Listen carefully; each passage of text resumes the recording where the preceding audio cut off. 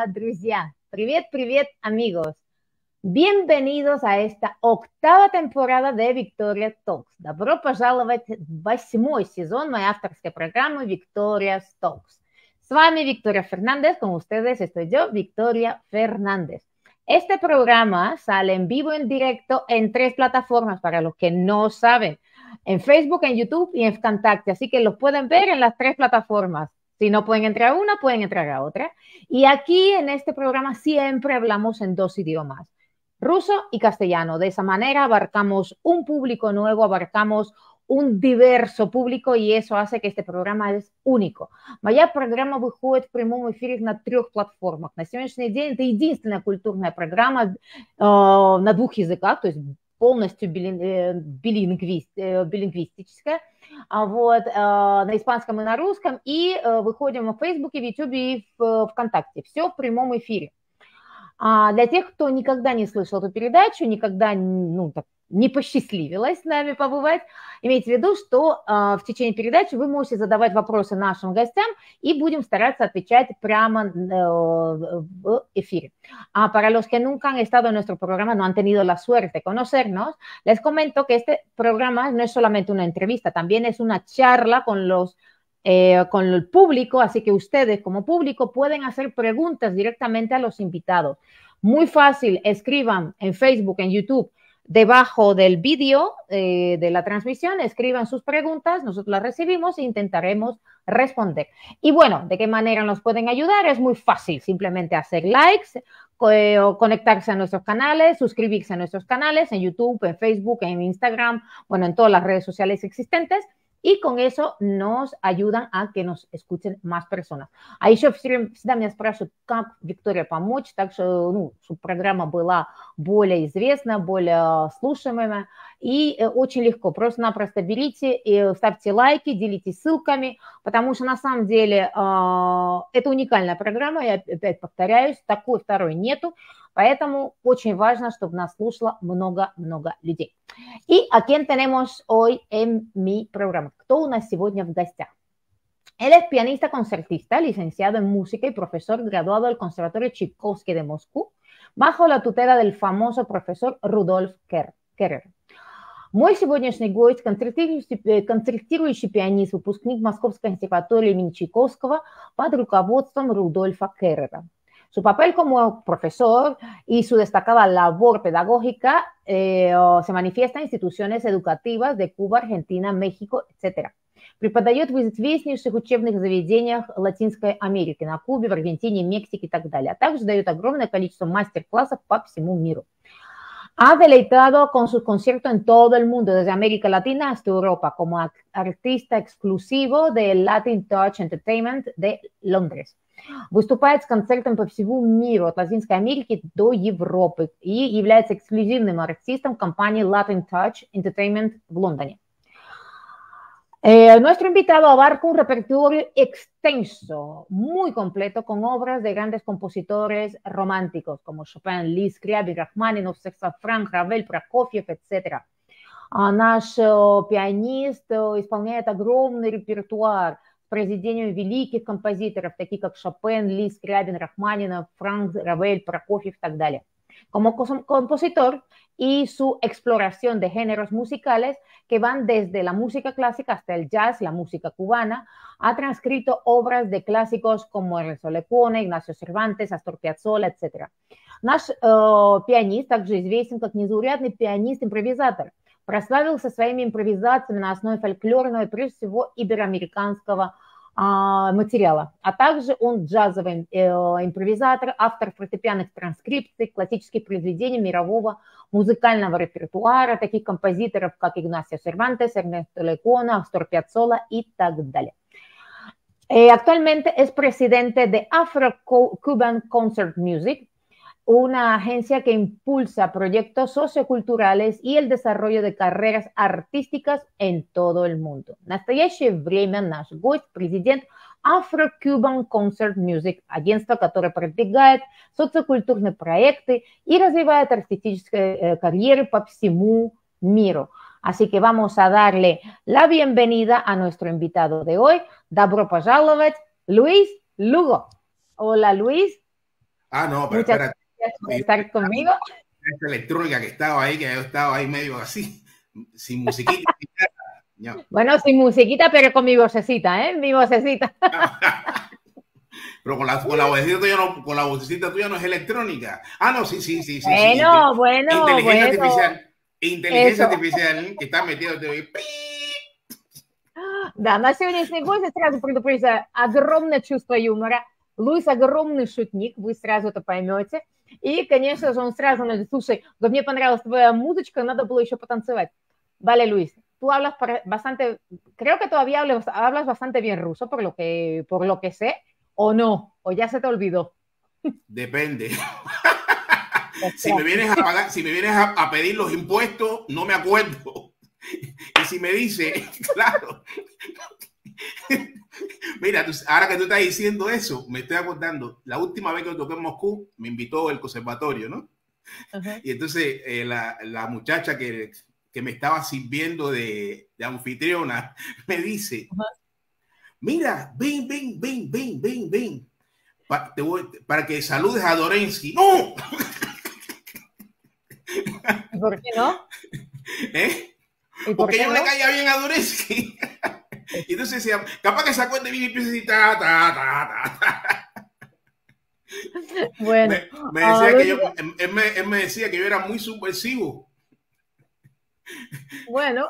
A la hora de tocar Chopin y decía, no, no, no, no. Entonces que veía, Dori no se va a acordar de mí, imagínate tú, venga a dar un concierto en conservatorio y va a empezar. Bueno, esa, esa, es la, esa, es la paga, esa es la paga cuando tienes que tocar delante de los profesores. Ya siendo pianista, ¿no? No, no, ojo, espérate, no, por ejemplo, la última vez que yo vi a Basquiro, yo cada vez que voy a España o que, que voy a España, a Madrid, siempre obligatorio voy a, iba al, al Reina Sofía.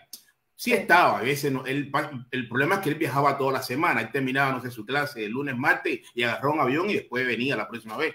Y entonces, la, la, no, la penúltima vez, porque la última vez él no estaba. Y me encuentro, él, bueno, nos saludamos, abrazo, qué sé yo, y me dice, vamos, te voy a tocar un programa que estoy haciendo. Y después me dijo, y ahora toca tú lo que vas a tocar en Moscú. no, decía, ¿por qué usted no sigue tocando más? Entonces, bueno, pero bueno, no importa, dale, vamos. А, просто с Луисом очень, вообще очень весело, и когда Луис начинает разговаривать, на самом деле очень сложно его перебивать, потому что он очень классный. Но он хорошо понимает русский язык, так что имейте в виду. Дело в том, что я спросила, ты вообще русский помнишь или как-то так забыл? Он говорит, ну смотря вот какая ситуация, если, допустим, ко мне придет там полиция или еще полиция нравов или э, налог, на, э, какая-то полиция налогов, конечно же, я по-русски не говорю для них. Вот, а так для людей, конечно. И э, как раз сейчас он вспомнил, как м, последний раз, когда его пригласили в консерваторию, в Московскую консерваторию дать концерт, а, девушка, которая была его как бы сопровождающим человеком, спросила, слушай, хочешь, я тебя познакомлю с Доренским? Он говорит, да ты, ты же что, ты что, ты что? Просто она не знала, что Доренский, он хорошо знал Луиса, и, и Луис до сих пор помнит его в, в жюри, все время Доренский его, его нас, ну, давал ему советы и тому подобное, то есть он хорошо помнит Луиса. Но самое смешное было, что когда он приехал в Мадрид и встретился с Башкировым, очень часто к нему приезжал, и Башкиров в э, последние своих встреч говорит, слушай, давай сади, сядем, и э, я тебе это э, расскажу вообще, что, вернее, сыграю, что я буду играть вот на следующем концерте. Он начал играть, а потом говорит, а теперь ты садись и сыграй то, что будешь играть в Москве. И, конечно, для Луиса, он говорит, несмотря на возраст и все, он говорит, сыграть перед Башкировым, это вот это состояние, что его будет слушать сам Башкиров, это, конечно. ¿Qué cosa? ¿He dicho algo mal? No, no, no, no, no. ¿Qué no, va, no? Intelig Lo dije bien. Inteligencia artificial que dijo, la señorita está diciendo corre. No, no, no, no, Yo soy mejor que cualquier inteligencia artificial, te lo juro. Oye, te manda, mira, te están mandando ya saludos desde Argentina, eh, desde Nicaragua, de Javner al, a Lampana. Le manda muchos saludos desde Nicaragua. Así que ya bueno. sabes, te están mandando saludos. También te está mandando saludos Carlos González Crespo, saludos hermano. Y bueno, ya sabes que aquí te vas a encontrar con muchas personas que, que te conocen desde muchos, muchos años y van a escuchar este programa. Pero bueno, a mí me gustaría que nosotros vayamos con las preguntas, porque yo tengo muchas preguntas que, que tengo preparadas para ti. Конечно, не забывайте, что вы можете все писать, пишите ваши, не знаю, ваше мнение, то, что вы думаете по этому поводу, по любому поводу, что мы разговариваем. Если у вас есть вопросы, задавайте, не стесняйтесь, пожалуйста. Для этого мы тут. Луис очень-очень веселый, классный человек и, и на самом деле очень большая умничка и классный пианист и музыкант. Так что пойдем с вопросами, потому что у меня очень большое количество вопросов. Me gustaría, Luis, que nos nombres los eventos, quizás obras o conciertos, que te hayan causado una impresión muy fuerte en tu vida profesional. ¿Nos puedes compartir sobre alguna? Я бы хотела, я задаю сейчас вопрос. Э, дело в том, что сегодня это у нас второе интервью. У нас уже было первое два года назад, можете послушать, а это второе, так что у нас как бы продолжение. И сегодняшнее интервью хочу э, начать с таким вопросом. Может ли Луис назвать, может быть, какое-то событие, может, какое-то произведение или какой-то концерт, который произвели на него самое яркое впечатление в течение вот его музыкальной карьеры?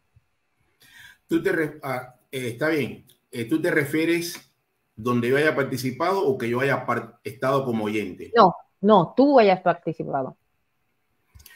Ah, bueno, sí, eh, en realidad sí he tenido algunos. Por ejemplo, conciertos en, en Londres, uno me cautivó mucho.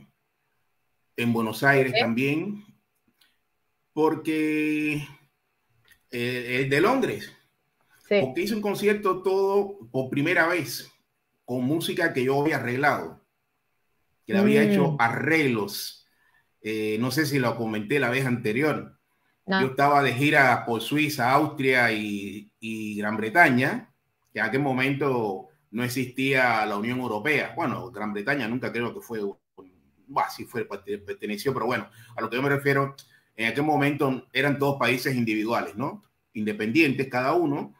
Y entonces eh, yo había estado en Suiza haciendo unos conciertos, pero a, su vez tratando siempre de, buscar la posibilidad de próximos conciertos con eh, managers locales. Se quedó dormida. Está durmiendo. No, no, no, y estoy aquí, que estoy haciendo, ah. ¿sabes cuántas cosas Si tú ah, supieras todo lo que tienes que hacer al momento. No, no, no, no, no, sigue contando, sigue contando. Ah, vas a contar después. bueno, hasta bien. Bueno, lo que yo me refería es que eh, estando yo en Suiza, eh, una logro con una, con una manager me, me, invita a su casa, porque aparte yo no hablaba, yo no hablaba inglés, tampoco hablo inglés, pero bueno, no importa. Y entonces, me nada, empiezo yo, era la época de los casetes. Yo iba con mi casetico, eh, bien grabado, pero era un casetico. Entonces me dice, Mira, yo ni tan siquiera quiero, quiero ver tu casete. Dijo, wow, estamos en problema. Sapo que tengo un piano. Entonces la mujer me empieza a decirme, ay, qué lindo, no sé qué cosa. Decía, ¿y cuándo entramos a la verdad? ¿Viste? Era como cuando tú estás en una discoteca y estás, habla, habla, habla, habla, habla, y la chica no te acaba de dar el teléfono todavía. Y te dice, ¿cuándo me vas a dar el teléfono, mamita? Entonces la, la señora me seguía hablando de, no sé, vivencias y de cosas, y yo la, escuchaba con atención, pero esperando que me dijera, dame el casete. Y yo el casete lo, tenía arriba de la mesa. Y nada. Hasta que al final ella se dio cuenta y me dice, mira, yo no lo quiero ni tan siquiera escuchar. Y dije, uy, ¿por qué soy tan feo? No, no sé. Me dice, porque yo nada más que trabajo con 10 artistas, 10 pianistas, o sea, 10 músicos de Europa. Y ya, bueno, pero, pero usted puede tener al número 11, que soy yo, un cubano, lindo, hermoso, sí, como que seguro no tiene a nadie. No, no tengo a ninguno, pero no puedo explicar. Acá trabajamos con muy, trabajamos con muy pocos artistas para yo poder cumplir. Entonces yo empecé a decir, no, para mí no va a sacar de acá. No, no va. Mire, a ver, yo le voy a tocar las nueve sonatas de Prokofiev. Mira que hay que tener ganas de tocar la número 10, la número 9. bueno, no importa. no, no, no, no, no, no, no, yo tengo a alguien que me toca las, diez, las, las, todas las sonatas de Prokofiev. ¿Y quién tiene? Yo hice así, ah, no, tengo a Zimmerman, y dije, bueno, ya está. No porque Zimmerman tocara más ni menos que yo, me da lo mismo. Cuando uno se hará un conservatorio de Tchaikovsky, ni te importa si es Marta Queriz o es, o es Zimmerman. Pero el caso es que esos tipos tenían un nombre muy grande y no había competencia y muchos discos, me, me comprende. Entonces, ya cuando me dice eso, yo, yo, dije, bueno, ya es como que está bien, la entiendo. Entonces le dije así, y si yo le toco obras de Lecuona, Ernesto Lecuona, uh -huh. ah, no, eso es música de salón. Uh -huh. Sí, es cierto que música de salón, pero era una época, no sé, música lecuona. Entonces dije, bueno, ya está. Ya está. Todo fatal. Y entonces ahí yo me quedé pensando en lo que me había dicho. Nunca había pensado en esa cosa de que porque es música de salón no se puede tocar en una sala de conciertos importante, ¿no? Uh -huh. Y ahí eh, me puse a pensar, a pensar, a pensar, a pensar. Y empecé rápidamente después cuando, eh, cuando llegué a Londres, me puse ahí a trabajar un poquito rápido, ¿no? En qué, en qué se podía empezar a variar eso. Y entonces fue la primera vez donde yo... Eh, ese primer concierto toqué obras mías, o sea, en realidad de Lecuona, pero yo le hice tanta transformación que ya no se pueden decir ni que son ni de Piazzolla ni de Lecuona porque no tienen nada que ver. O sea, lo único que tiene hay es una excusa que un te, el tema de sí. ellos, pero todo hecho con variaciones conmigo que a veces dura y, y dura y dura y dura. Y ahí fue, ese concierto fue el primero que di y la verdad que sí, que me te, gustó. Que te ha cambiado, que te ha cambiado muchas cosas. Claro, claro. Después, bueno, cada concierto que di en el Teatro Colón de acá de Argentina, yo di cinco recitales en la sala grande, eh, con música de Liszt, Tchaikovsky, Rachmaninoff, en fin, y, y, obras raras de Liszt también. O sea, raras no, que se toca un poco, ¿no? Uh -huh. Y cada concierto siempre fue una, una experiencia interesante. En Chile también algunos fueron interesantes. Ah, sí, mira, espérate, en, Montevideo. En Montevideo no, espera, ahora sí voy a traducir, espérate, que ahora, ahora sí que voy a traducir, espera, ahora sí. que voy a traducir esta primera parte. Да, первый, uh, у меня был вопрос насчет, какие произведения или, может быть, концерты, что какие-то, может быть, он расскажет о, о каком-то, может быть, событии, которое повлияло на его жизнь, которое вот по-настоящему изменило его жизнь. Он рассказывает, что да, был такой случай, он поехал, у него было турне по Европе, как раз это еще до того, как uh, вообще начал существовать Евросоюз, а, ему, также он, он должен был поехать в Англию, и в Англию он попал к менеджеру, женщина, которая была менеджером 10 самых лучших пианистов. То есть э, представьте себе там Зиммерман и тому подобное, то есть вот такого уровня. И она, э, в общем, услышала Луиса, он пришел со своим, тогда это были еще кассеты, и она что-то рассказывает, рассказывает, а он только думает, господи, когда же ты возьмешь мою кассету, чтобы послушать? Вот, наконец-то она ему говорит, ты знаешь, я даже тебя слушать не буду, потому что, если честно, мне вот 10 моих пианистов хватает. А Луси говорит, ну, ну у вас же нет ни одного кубинца, да еще такого, как я. Говорит, может быть, вы все-таки согласитесь на 11-го? А, вот. И э, он, он ей сказал, он говорит, если хотите, я могу сыграть все сонаты Прокофьева, потому что Луис играет практически весь фортепианный репертуар э, больших композиторов-романтиков. Вот. И она говорит, да нет, он говорит, 10, все сонаты Прокофьева мне может и Зиммерман спеть. А Луис говорит, ну хорошо, тогда я для вас сыграю Леквон. Он говорит, ну как Леквон? А Леквон это такой, это композитор для камерных салонов, то есть для большого концерта это не годится музыка. И вот в этот момент Луис понял, что как может быть, что музыка кубинского композитора, на самом деле, она прекрасна, как так, что в Европе она не слушается на больших концертах, что происходит. И это э, в нем разбудило вот эту вот идею, почему бы не сделать определенную обработку произведения таких вот латиноамериканских композиторов, которые, к сожалению, в Европе очень мало кто играет, но сделать такую обработку концертного варианта, то есть там с вариациями, то есть довольно-таки мощную фортепиано такой, э, в техническом стиле. Вот. И так появилась первая идея сделать полностью концерт латиноамериканских композиторов, но обработка стопроцентная Луиса, причем настолько, что, ну да, там присутствует тема таких-то композиторов, но все, все произведение – это его сочинение, это его уже обработка, это его транскрипция, и каждое произведение это уже слушается как концертное мощное произведение, потому что там и тема с вариациями и тому подобное. То есть вот это был, скажем так, может быть, а, одно из таких э, ну, концертов или событий, которое по-настоящему повернуло его карьеру. Оттуда началась уже, он начал развивать совершенно новую, а, новую ветвь своих, а, своих выступлений. Вот такие вот аранжировки известных латиноамериканских композиторов, тем самым они стали больше исполняться. Luis, eh, precisamente hablando sobre los compositores eh, de América Latina, eh, los arreglos que tú haces, eh, ¿se pueden comprar en algún sitio? ¿Se puede descargar en algún sitio? ¿La gente lo puede para poder tocar? Mira, estoy en un problema con eso. Hay un problema tecnológico. Hay un problema tecnológico.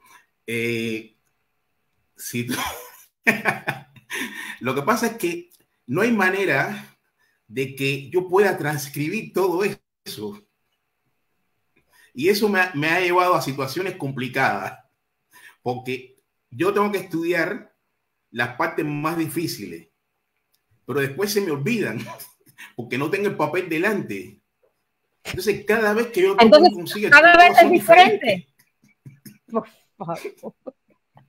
claro. Yo dije, por acá creo que va la cosa, por Dios, pero es tan difícil que ya, pum, metí una nota falsa.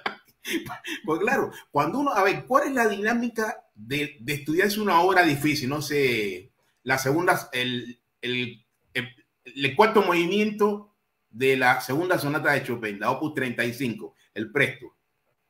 Que tú todos los días repasas la digitación, aquí va el quinto dedo, aquí va el cuarto, aquí hago esto, y así hasta que te vaya saliendo, o la sonata del hijo, la sonata de Scriabin, no sé. E, esa es la, la base de cómo uno se aprende una obra, pero no tocarla de memoria ahora, entonces empezar a practicar ese pedacito hasta que después no la tocas más en dos o tres meses. Y después, entonces eso es lo que me ha pasado porque eh, alguien me dijo una vez, bueno, pero si tú la tocas en un piano electrónico, la puedes grabar. Mira, yo intenté, primeramente en un piano electrónico no se puede tocar. no se puede porque tiene, tiene otras pulsaciones, terminas rompiéndolo y no se puede. Y segunda, eh, la escritura que tiene el piano electrónico te lo pone como tú una mancha que después, o sea, es imposible. Yo lo intenté, pero no pude. Y entonces lo que estoy haciendo, bueno, en algún momento alguna solución le tendré que dar. No sé, pero no pues se me ¿eh? ocurrido todavía. Le voy a preguntarle, a ver, inteligencia ¿cómo lo hago? Espérate, está pensando ahora.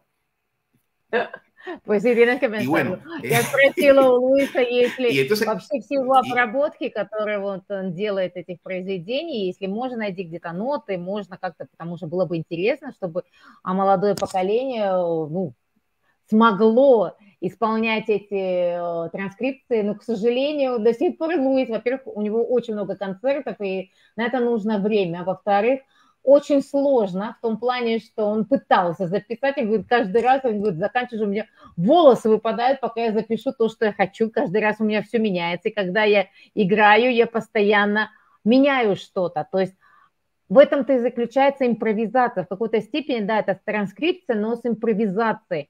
Поэтому сложно. Кто-то ему посоветовал, давай вот пиши, а, давай э, запиши на, на электронном пианино, есть программы, которые вот могут сделать а потом транскрипцию уже в нотном, на нотном стане.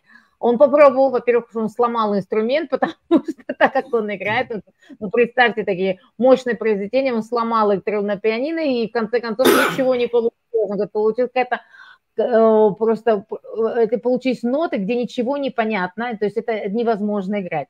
Но он думает, что все-таки до конца своей жизни он все-таки что-то придумает, чтобы все-таки эти произведения записать y оставить их для нового поколения. Oye, sí, por lo menos hasta el final de tu vida tienes que lograr eso con inteligencia artificial o con lo que sea.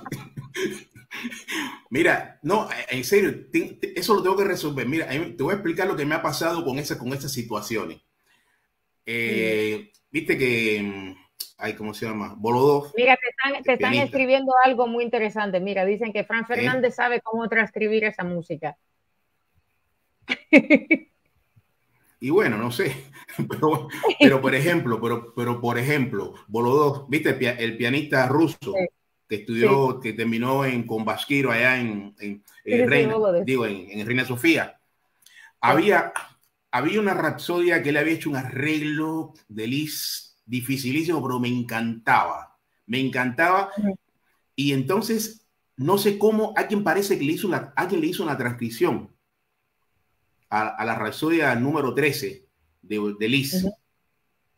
Y entonces yo dije, ay, encontré la partitura había, una, había unos pasajes que era, no era así, era como el tamaño de la Torre Eiffel. Y yo empecé, este fa, este es la, este es mi. Yo dije, ah, no, espérate, aguante, si este es un subversivo igual que yo, ¿sabes qué? Agarré, entonces así, fuera, fuera, fuera, fuera, y empecé a hacerlo todo distinto. Entonces, si eran notas, eran notas, eran como 500 notas, y decía, vamos a dar lo mismo, la convertí en un carrusel y sonaba más o menos igual. O sea, si quieren, búsquenla, busquen mi grabación las varias veces que la he tocado, ha sido media todo distinta, porque bueno, se me ocurrió y empecé a cambiarle todas las notas, principalmente todas las notas rápidas porque era muy difícil desde el punto de vista leer toda esa cantidad de notas. Y bueno, si él las cambió para poder, o sea, no, no las cambió, se las añadió porque le gustaba, pues yo voy a hacer lo mismo. Entonces le cambié toda la rapsodia cambiándole de esa parte. Eso por un lado. Pero tú sabes, pero tú sabes quién me enseñó, quién me enseñó a hacer eso. ¿Quién? Eh, Kamichov, Valery Kamichov. Valery, ¿te acuerdas de Valery Kamichov? Tu profesor que te, el que te preparó para el conservatorio. Valery Kamichov, claro, claro, Valery, Valery Kamichov, él fue tercer premio de segundo concurso internacional Tchaikovsky. Y cayó en Cuba, la verdad que no tengo la menor idea. Entonces, bueno, él escogió a cuatro alumnos supuestamente que para que nada, que el Ministerio de Cultura le dio para prepararlos para diferentes concursos internacionales, etcétera, etcétera. Y entonces él me dijo, tú los pasajes de, horas difíciles comienza a cambiarlo. Nada. Él le, gustaba hacer eso. Pero lo que pasa es que yo lo exageré un poco, porque cambiaba pasajes enteros. Pero como no estaba escrito, total, yo estaba en mi casa y me daba lo mismo. Pasó que en el Conservatorio de Moscú, entre otras cosas, yo toqué la, la sonata Fantasía de Dante Cambiaba los pasajes, pero nunca tocaba la obra arriba abajo. o sea, yo tocaba la obra, pero yo me pasaba estudiando siempre los pasajes técnicos, técnicos, técnicos. Entonces nunca tocaba la obra arriba abajo. Entonces, cuando llegué, cuando llegué al concierto, que se estaba acercando los pasajes, empecé a tocar. ¿Y cómo es el original? Uy, espérate. Y acá, acordándome de Doreski, uy, no, esto no me puede estar pasando acá ahora. No me acordaba, o sea, yo sabía cómo era si, si miraba la partitura adelante. Esta es la partitura, obviamente la seguía, pero como yo, yo estudio mucho sin partitura, principalmente los pasajes técnicos y los cambios, para estudiarlo, se me quedó como un hábito duplicarlo todo. Y entonces me pasé, eh, es una bajada croata, es así nada más pero yo le metía octava, tercera, hacer nada para estudiarlo, pero no para tocarlo nunca, sino era para que me saliera más rápido y mejor. Pero en ese momento yo no sabía cómo, cómo hacerlo. Y entonces dije, bueno, voy a empezar como única manera, empecé a meter toda esa aquella cosa y no sabía cómo salir de ahí. Y volvía a ver para arriba, volvía para arriba, volvía para arriba, para arriba. Era de... Y decía, bueno, hasta que de alguna fuerza llegué al otro pasaje de octavas como tal. Y después, se me, y después ya, como no sabía cómo hacerlo de la otra manera, cada vez que llegaba a tocar, le arreglaba y le echaba más notas. Eso está en la sonata, en la sonata Dante. La, yo tengo como, no sé, varias grabaciones. Y así era constantemente. Eso es lo que da el no tener eh, una partitura adelante y, empezar a cambiarle las cosas. ¿Me entiendes? Pero, eso con Rudolf Kerrer te fue difícil, ¿no? En ese aspecto. No, no, no, pero eso fue después de Rudolf Kere, no, no, no, eso fue después, ah, terminando el conservatorio y empezando mi carrera de, de, solista. Después de los 30 años yo me volví medio disidente. Bueno, voy a, voy a traducirlo porque nos estamos, ¿no? y ahí estamos enrollando a la música, porque total. Ya, voy a traducir porque nos estamos enrollando mucho y hay muchas preguntas que te quiero hacer. Este, да, Луис, когда начинает разговаривать, очень сложно его на самом деле, потому что интересно то, что он рассказывает.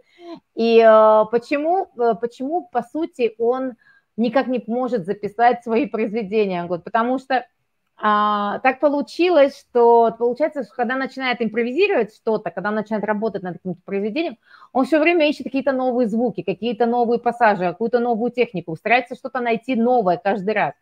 И э, вот как Володойс, он тоже делает обработки произведений классических музыкантов, и не все, конечно же, все обработки, они э, написаны, они положены на, на партитуру, естественно. А те, которые есть, они довольно-таки отличаются от того, что играет сам Володость. А вот, потому что очень много вещей ты добавляешь в момент исполнения, естественно. А вот, и так получилось, что э, началось все с того, что э, у Луиса был прекрасный педагог Камышов, он был третьей премией э, второго конкурса Чайковского, и так получилось, что он попал на Кубу. Как? Непонятно. Он там, э, ему дали четырех учеников, выбрали четырех лучших студентов, среди них был как раз Луис. И как раз вот профессор Камышов показал Луису, как можно учить сложные пассажи, как можно делать, ну, обрабатывать сложные пассажи, но, скажем так, больше фокусируясь на, на технической э, работе, то есть так, чтобы пассаж получался. А получилось так, что Луис, он настолько э, этим заигрывался, ему настолько нравилось, он каждый раз придумал что-то новое, и в конечном итоге бывало так, что он приходит на экзамен и забывает, так, господи, а как же в тексте это написано по-настоящему? Он говорит, я же учил по-другому, там, где, допустим, какие-то а, гаммы хроматические, он учил октавами хроматическими, или терциями, или что-то в этом роде, и он уже на экзамене иногда играл уже в своем стиле, иногда запутывался, то есть он повторял одно и то же, потому что не помнил, как в тексте а, было, а, написал композитор. Конечно же, Доренский как раз все время его пресекал с этим, но он его успокаивал, останавливал. Вот, но вот такой вот, э, так, вот такой вот у нас а, пианист э, яркий, он совершенно спонтанный, который на самом деле очень много что а, dal fortepiano pianismo, особенно на Cuba. Um, Luis, vamos a, vamos a seguir porque si no, no me, no me da tiempo con todo. ¿eh? Mira, hablando precisamente sobre Ah, sobre tus profesores. Eh, ¿Puedes mencionar tres puntos en los cuales tu profesor Rudolf Kerrer ah, se enfocaba más que en otros? Por ejemplo, no sé, siempre los profesores, ellos se enfocan en algunos parámetros específicos, ¿no? En el momento de trabajo. Rudolf Kerrer, en tu memoria, ¿en qué, en qué aspectos él dedicaba más tiempo en el momento del trabajo? Вспоминая его профессора Рудольфа Керрера, было бы интересно узнать, какие определенные моменты, на каких э, пунктах он, э, скажем так, останавливался больше всего в момент работы. Вот э, если вспоминать его работу с Рудольфом Керрером, своим педагогом. Mira, Kerer trabajaba mucho eh, el diseño de la obra, o sea, el diseño artístico. Porque como muchos profesores de conservatorio de Moscú, la verdad que ahí nadie, todo el mundo llega con todos los problemas técnicos solucionados, o sea, no, hay, no existe la palabra problemas técnicos.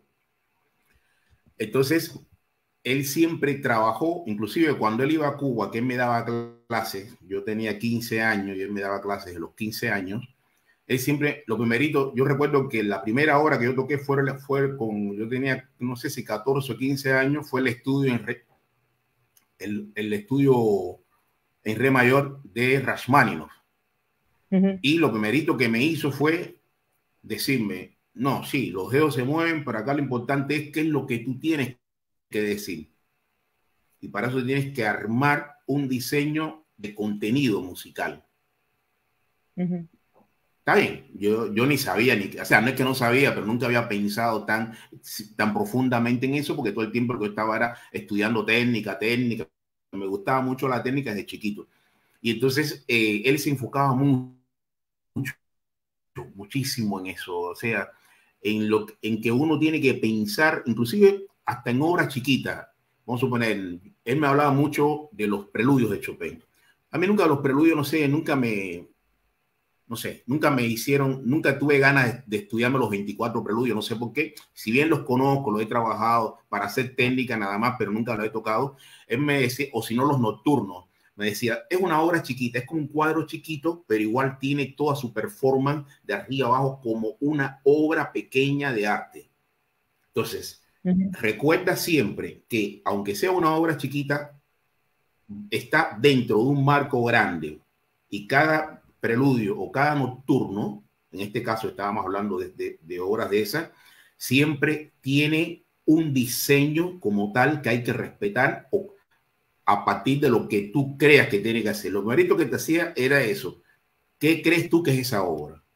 Entonces, a partir de ahí, ya tú podías armar todo lo que tú quisieras. Entonces, eso, eso es lo, lo, más que yo recuerdo. De hecho, cuando cuando yo tengo alguna duda o algo que recordarme, eh, yo pongo, no sé, un disco de él o una obra de él o en YouTube, bueno, en YouTube porque ahora ya no se usa más el disco. Eh, pongo YouTube Rudolf Kere, no sé, entonces tú, tú sientes que detrás de eso hay una fuerza muy grande que está tocando porque hay un diseño eh, artístico, una creación artística y sobre eso, bueno, tú puedes volcar toda la técnica o todo lo que tú necesites, pero para armar eso, eso es lo más que yo recuerdo de él, porque eso fue constantemente, cada obra. Cuando trabajamos la sonata de Lis, cuando trabajamos el concierto número uno de Lis, cuando trabajamos, no sé, toda una serie de obras grandes, él siempre marcaba eso, no importa si, si él sabía o no que yo lo sabía, no le interesaba. Todo el tiempo era sobre lo mismo y, y eso es lo que más recuerdo de él. Porque es lo que yo pienso que después la técnica, bueno, se supone, entre comillas, que uno Sí, sí, sí. De hecho, yo, a ver, de hecho, eso fue lo que me ayudó a pensar un poco cómo armar mi estrategia musical.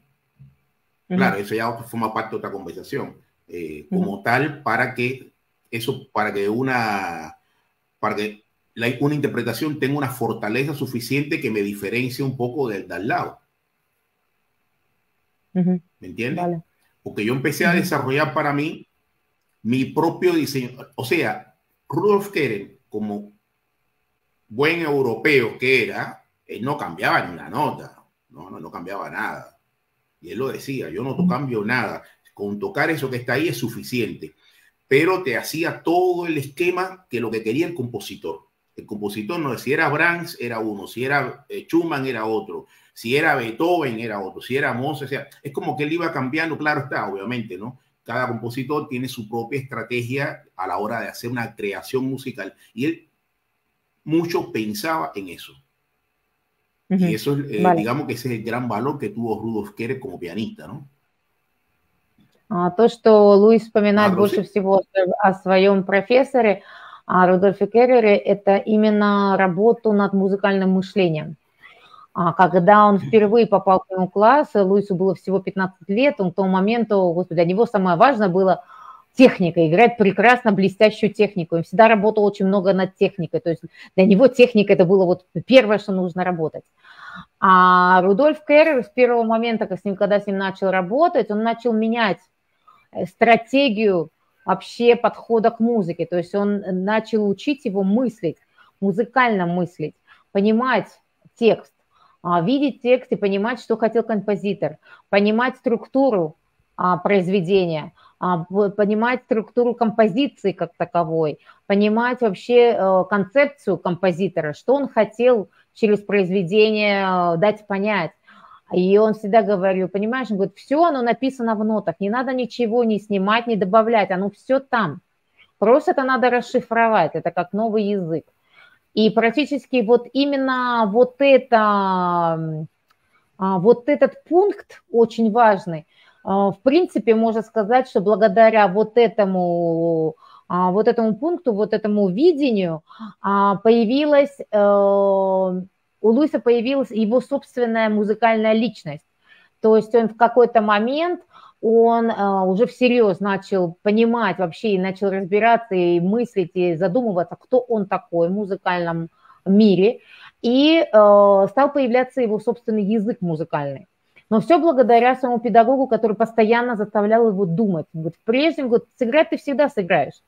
Техника хорошая. А вот что касается музыки, насколько музыка важна, именно она должна быть продумана, но до, до мелочей.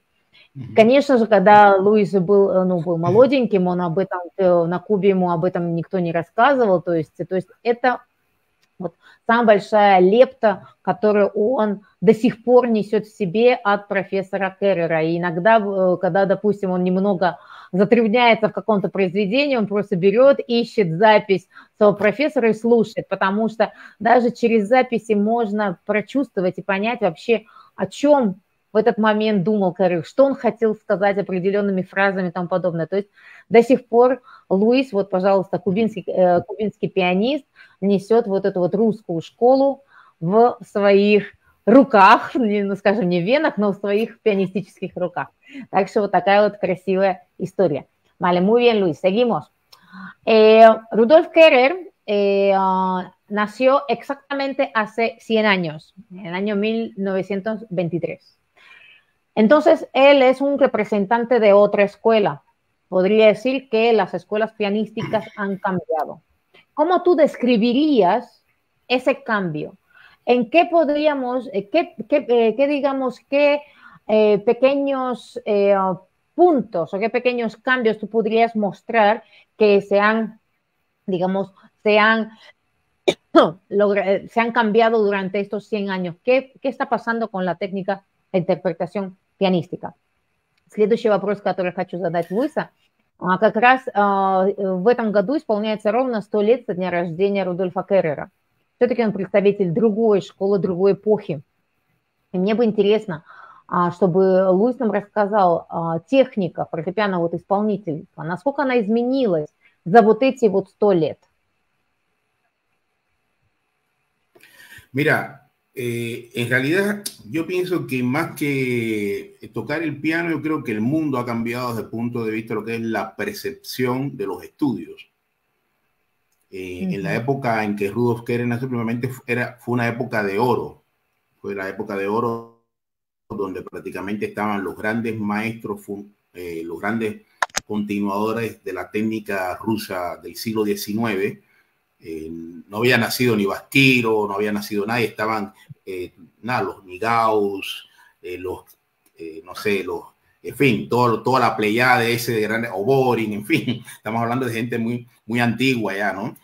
Y entonces, bueno, él nació en esa época, se desarrolló en una época de conservatorio donde daba miedo, donde daba miedo toparse con esas personas, principalmente porque venían de una técnica pianística aterradora si tú escuchas, por ejemplo, a Emil Gilles tocar eh, aterradora desde el punto de vista que, que, da miedo, hoy por hoy, olvídate, no hay nadie así. Eh, sí, hay gente buena que tocan muy rápido, que tocan todo, pero en aquella época se tocaba mucho más rápido, pero con unas intenciones musicales muy distintas. Simplemente había que escuchar cómo tocaba, eh, no sé, mismo Gilles, cuando era jovencito, por ejemplo, la joda de Fígaro, de Mozart, los arreglos esos que tenía, te escuchaba, wow, era un tipo, no sé qué edad tendría, pero muy jovencito, cómo, cómo tocaba el mismo Jacosac eh, o Boring, en fin, estamos hablando de tipos que tocaban muchísimo en aquellas épocas. Para mí eran lo mejor, los técnicos, los, eh, los pianistas más técnicos del mundo en aquel momento. Después vinieron los alumnos, los alumnos de ellos que siguieron con esa perspectiva. Pero es como todo, yo creo que hay una decantación, se va decantando, es como cuando tú tienes un té. Tú agarras un, un té negro y la primera eh, colada, no sé cómo se, ahora no me acuerdo cómo se dice en ruso, la primera colada es un té muy negro.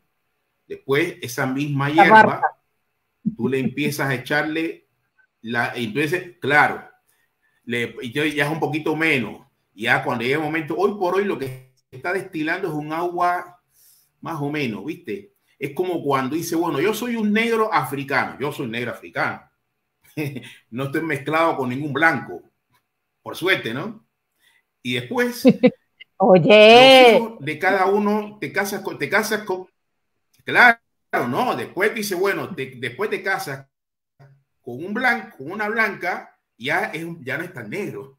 Después ese, ese hijo se casa con otra blanca y hasta que al final es rubio. dice, tiene, claro, está como medio raro. Yo, y sin embargo, dice, bueno, yo tengo acá peligros así. No, ese tiene un poquito rizo, qué sé yo, y dice, habrá estado con otro.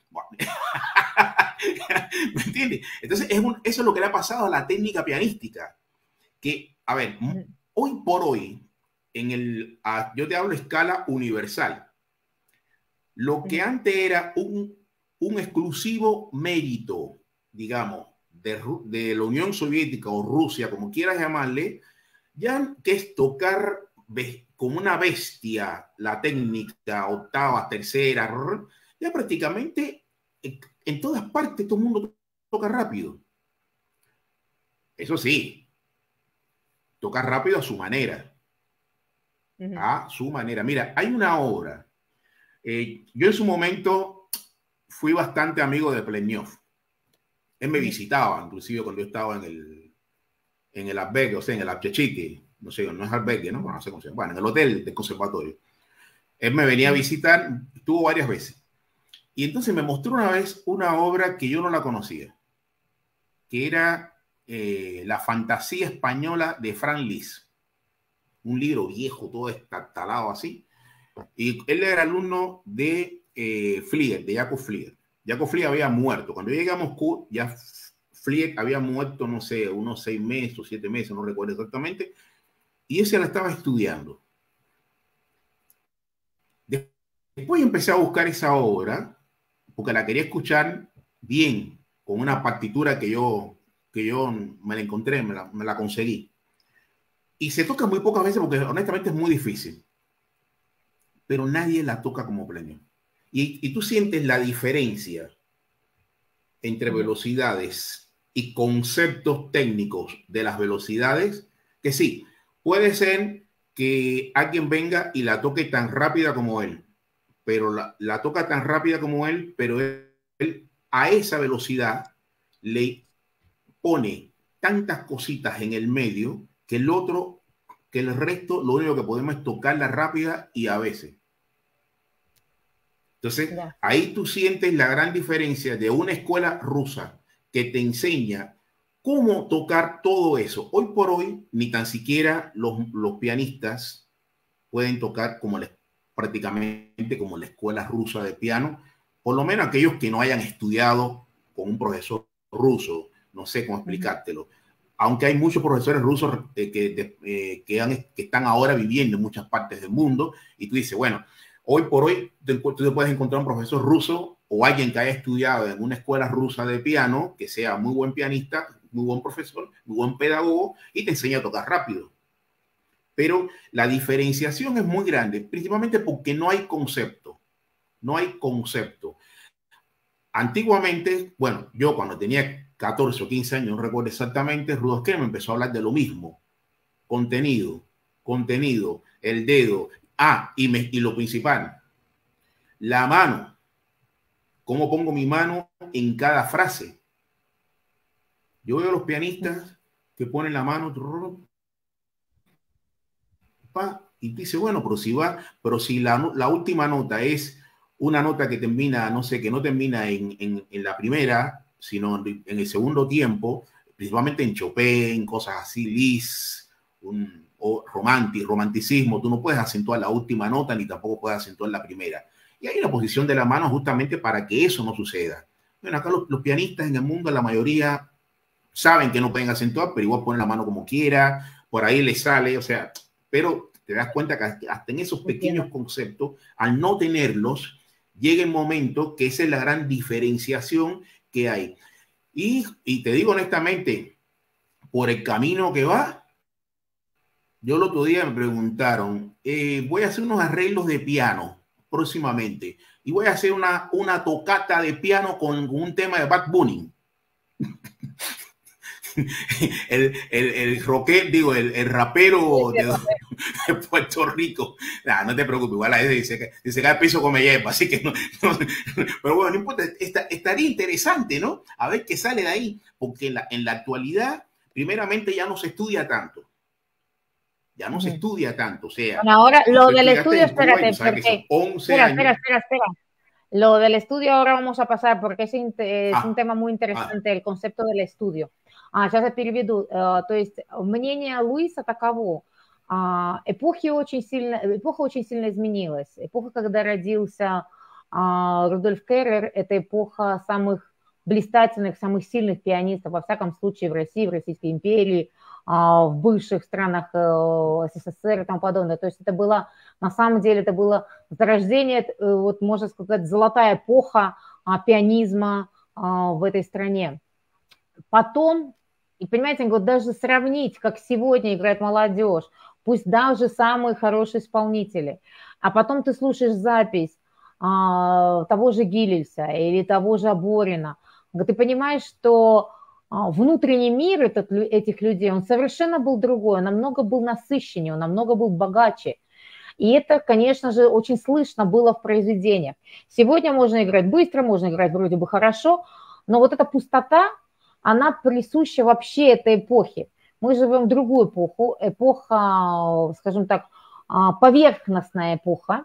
А сегодня мало кто из молодежи по-настоящему разбирает какие-то произведения внутренне, э, даже когда читают книги, они не, не как-то читают книги поверхностно. Конечно, не все есть, э, есть так, хорошие ребята, все, но масса, то есть в массе жизнь, она довольно-таки поверхностная. И вот это, конечно же, а, вот эта разница эпох, э, эпох, оно очень сильно влияет и на язык, и на исполнительский язык. Потому что, вот представьте, эпоха а, вот как раз сто лет тому назад, то это как заварка, чайная заварка. Потом этот чай уже разбавляется с водичкой, потом еще с водичкой, все, и получается уже такая вот, такой же чай слабенький, слабенький, ну, можно добавить сахарочку, так сказать, для вкуса, но это уже не заварка, это уже не чай. Вот то же самое на сегодняшний момент, большая часть исполнителей, но это уже как слабая какая-то заварочка третьего, так сказать, а, третьего формата, да. Вот. И, к сожалению, если так дальше пойдет, если э, будут а, восхваляться а, музыканты, которые, к сожалению, не несут ничего более глубокого через свою музыку, Вскоре, к сожалению, вся э, вообще вся школа, вот эта вот русская школа фортепиано, русская музыкальная школа, это в первую очередь это была всегда школа связана с глубоким музыкальным подходом.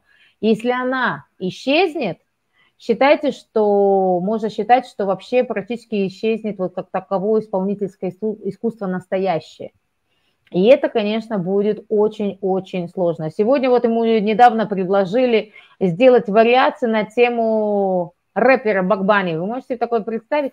Вот настолько сегодня мир а, совершенно фальшивый, что, а, к сожалению, дается, ну, скажем так, дается больше славы, э, славы именно не глубоким артистом, не тем, перед которым надо, ну не знаю, надо, надо что-то еще уметь, надо что-то еще знать, чтобы понять их искусство.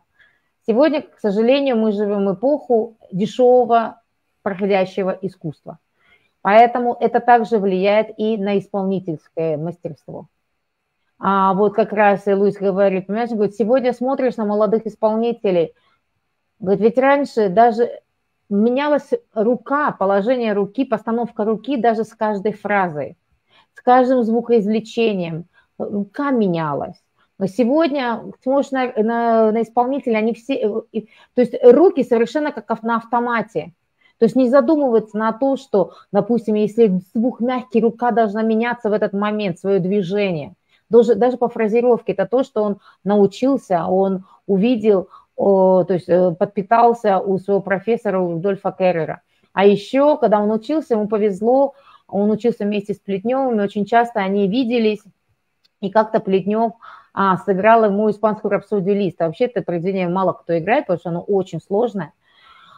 Потом впоследствии уже больше людей стали, больше пианистов стало уже при, прибегать к этому исполнению. Он говорит, но так как играл Плетнев в свое время, он был учеником Флера а, в самом начале, так как играл Плетнев, до сих пор не слышал ни одной записи, ни одного исполнителя, кто бы сыграл хотя бы на йоту в музыкальном плане что-то сопоставимое с Плетневым. Потому что это, у него были другие учителя. Его воспитали с другой, э, с другой, скажем, с другим взглядом на музыку. Можно критиковать, кому-то может нравиться, кому-то нет. Но это факт. А сейчас вот это музыкальное мышление, к сожалению, оно с каждым разом беднеет и беднеет. Ah, mira, te están escribiendo eh, que el tema de la posición de la mano en función de lo que quieres lograr es fundamental. Tienes mucha razón con lo que dices. Sí, totalmente, eh, Carlos González. Да, вот нам пишут, что а, эффективно именно положение руки, вообще звукоизвлечение, оно очень связано с физиологией руки. Ладно, поехали дальше, потому что у меня еще очень много вопросов, а мы уже час в эфире. А, precisamente tú empezaste el tema sobre las clases, cómo estudiar. Puedes, desde tu punto de vista, en tu opinión, ¿cómo se debería de distribuir una clase? ¿Cómo se tiene que distribuir la proporción entre, no sé, los estudios, las escalas, los ejercicios, eh, el análisis de la obra musical desde tu punto de vista, a ver, como tú, eh, como tú has estudiado en tu tiempo и como sigues estudiando hoy en día, si puedes dar algún consejo. А следующий вопрос, так, так как Луис затронул тему того, что сейчас даже занимаются как-то по-другому, а люди просто, ученики, занимаются совершенно не думая, мне бы хотелось, чтобы он нам рассказал, а, с его точки зрения, как нужно распределять занятия вот на соотношение исполнения гамм, упражнений, может быть, анализ э, музыкального произведения, или как вот на сегодняшний момент, что бы он мог посоветовать молодым исполнителям? Bueno, yo tengo que hacerte un, hay una pequeña diferenciación. Una cosa es cuando yo tengo, yo de muchas masterclass y clases a, a muchos estudiantes o que no son pianistas todavía, etcétera, etcétera. Esa es una forma, pero en mi caso particular es otra. Porque date cuenta, yo una vez te lo dije, yo prácticamente conozco toda la música que se escribió para el piano, toda. Obviamente, si tú me dices a mí, Oliver Messiaen, La gente mirada, bueno, yo con César López, que fue más años, lo estuve odiando creo que 10 años porque me hizo tocar quería tocar a las 20, yo tenía 13 años y decía, no, esto yo no lo entiendo y no me gusta ni a palo. Pero bueno, me estudié que sea la mirada del niño Jesús, que es la número de 14, yo me decía, esta es la mirada del niño Jesús, por Dios, tiene miopía. Lo difícil, no entendía nada la música esa. Pero bueno, al margen de eso, a, a donde yo voy, es que yo, o sea, la música tradicional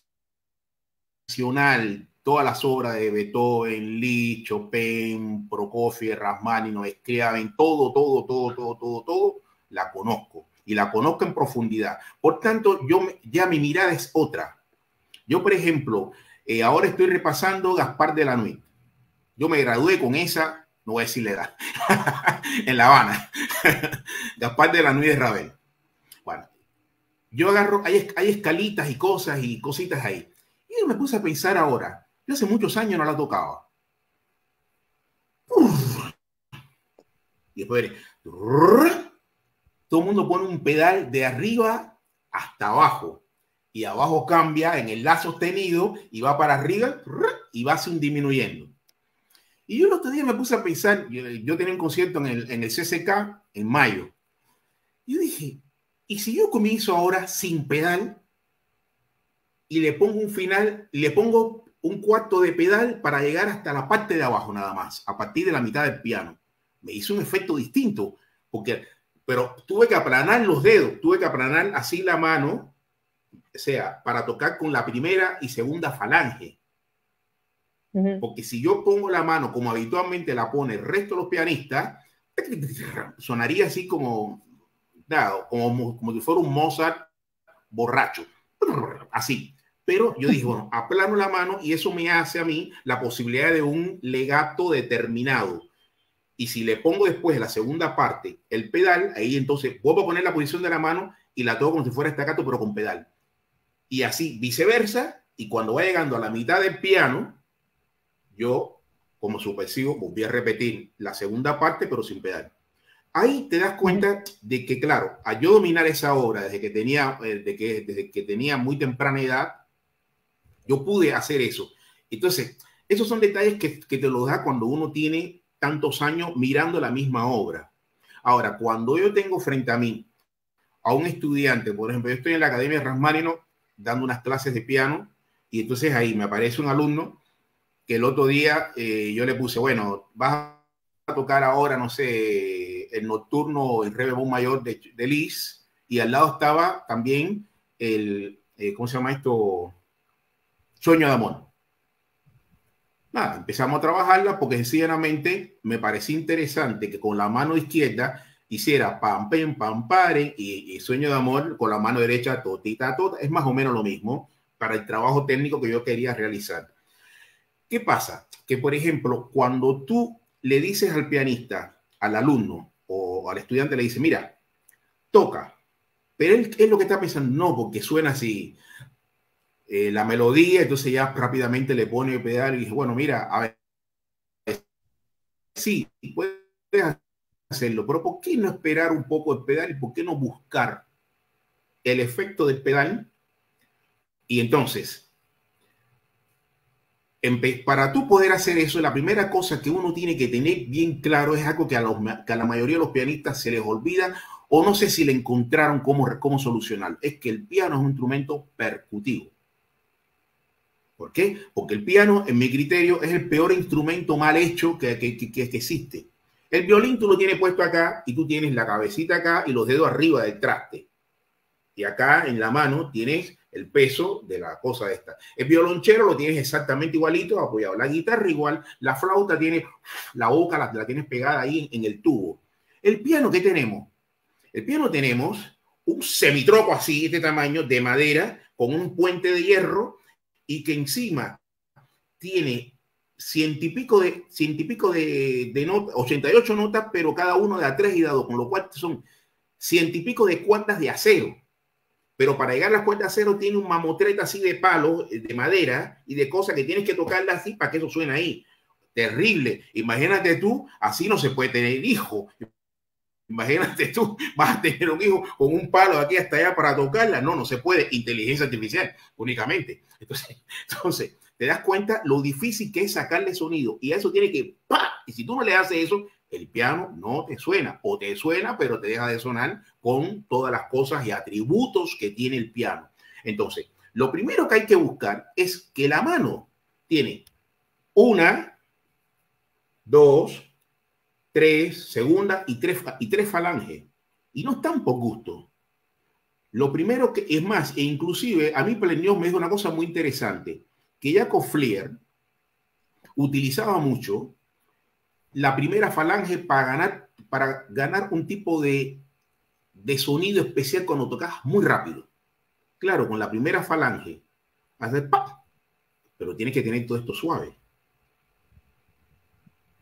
Y eso me lo dijo y me le enseñó a hacerlo. Por eso es bueno.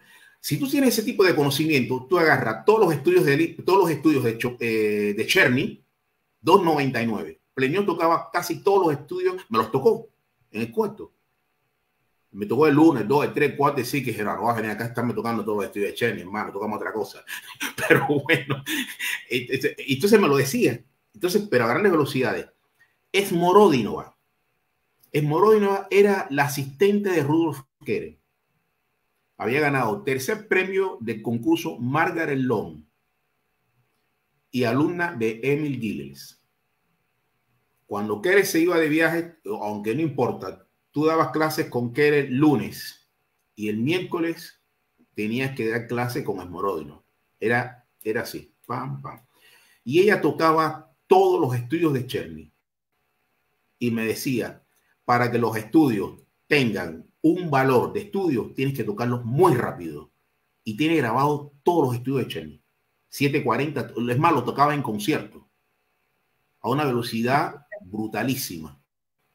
Entonces, claro, y ella me decía, cuando te levantes todos los días a estudiar piano, lo primero que hacer es tocar la escala de mi amor mayor a la tercera, rápida, sin calentar Entonces, cuando tú, cuando tú empiezas a dominar todo eso de esa manera, ya tú empiezas a tener todo un bagaje cultural interesante porque tú estás pensando en cuál es el contenido que tú le quieres dar y cómo encontrarlo.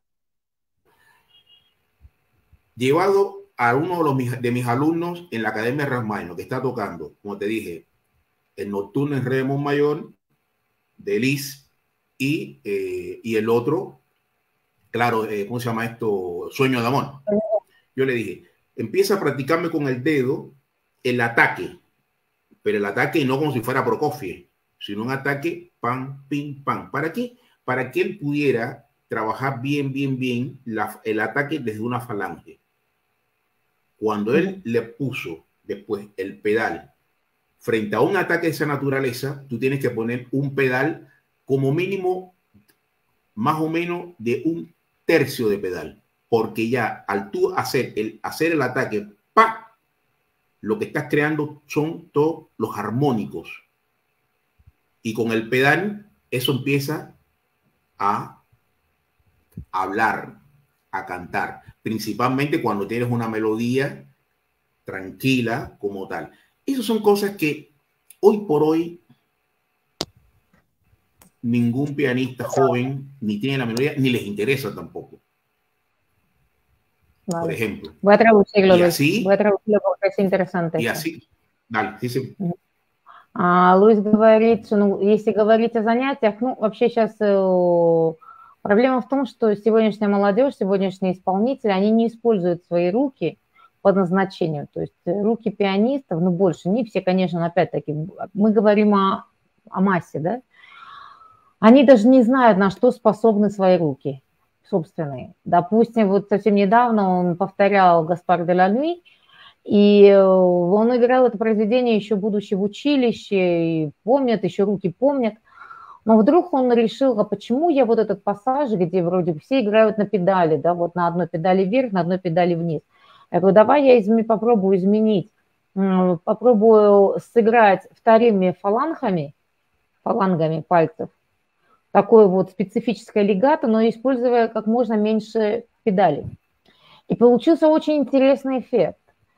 И вот это, вот это именно работа, когда музыкант, когда пианист, когда студент работает, к сожалению, никогда не задумывается на том, чтобы работать над чем-то новым, над каким-то поиском каких-то новых звуков, каких-то новых а, возможностей.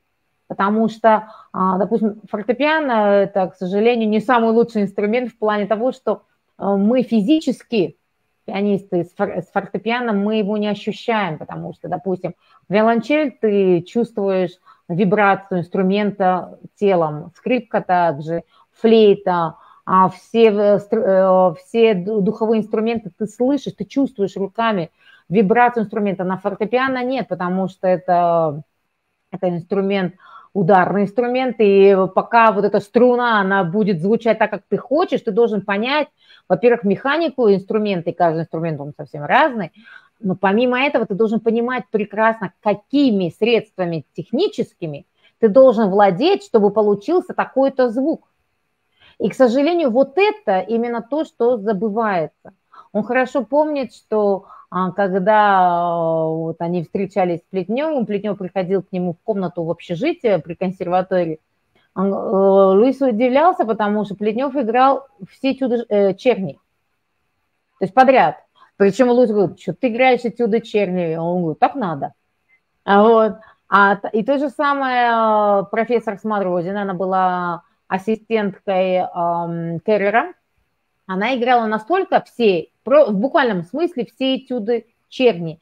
И она говорила Луису, чтобы довести свою технику и музыкальность до высокого э, уровня, на высоком э, уровне мастерства, то надо добиться, эти, чтобы эти этюды игрались в очень-очень быстром темпе, но в то же самое время ни в коем случае не терять ни музыкальность, ни фразировку, ни музыкальную идею. Каждый этюд – это пьеса.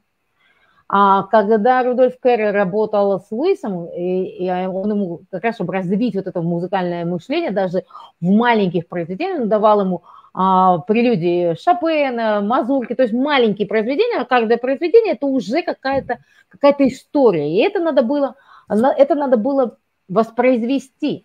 А вот, он ему говорил, ты понимаешь, это маленькая картина в большой раме. И ты должен это понимать. Каждая пьеса, она миниатюра, но каждая миниатюра, она внесет в себе определенный смысл.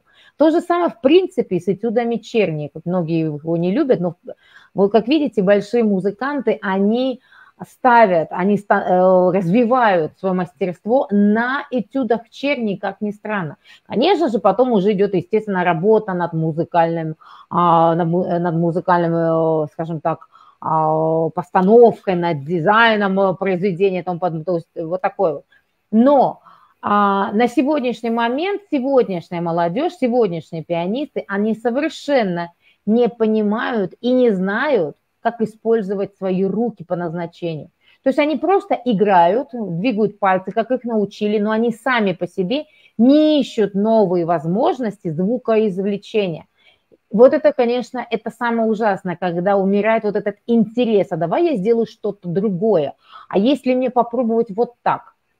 То есть, когда э, студент занимается, вот у него студент в, в, это, в Академии Рахманова в Аргентине, он играет два произведения Листа, и он пытается ему объяснить что-то, что давай вот используй вот эту часть пальца, когда ты будешь брать вот такой-то аккорд или вот это арпеджио.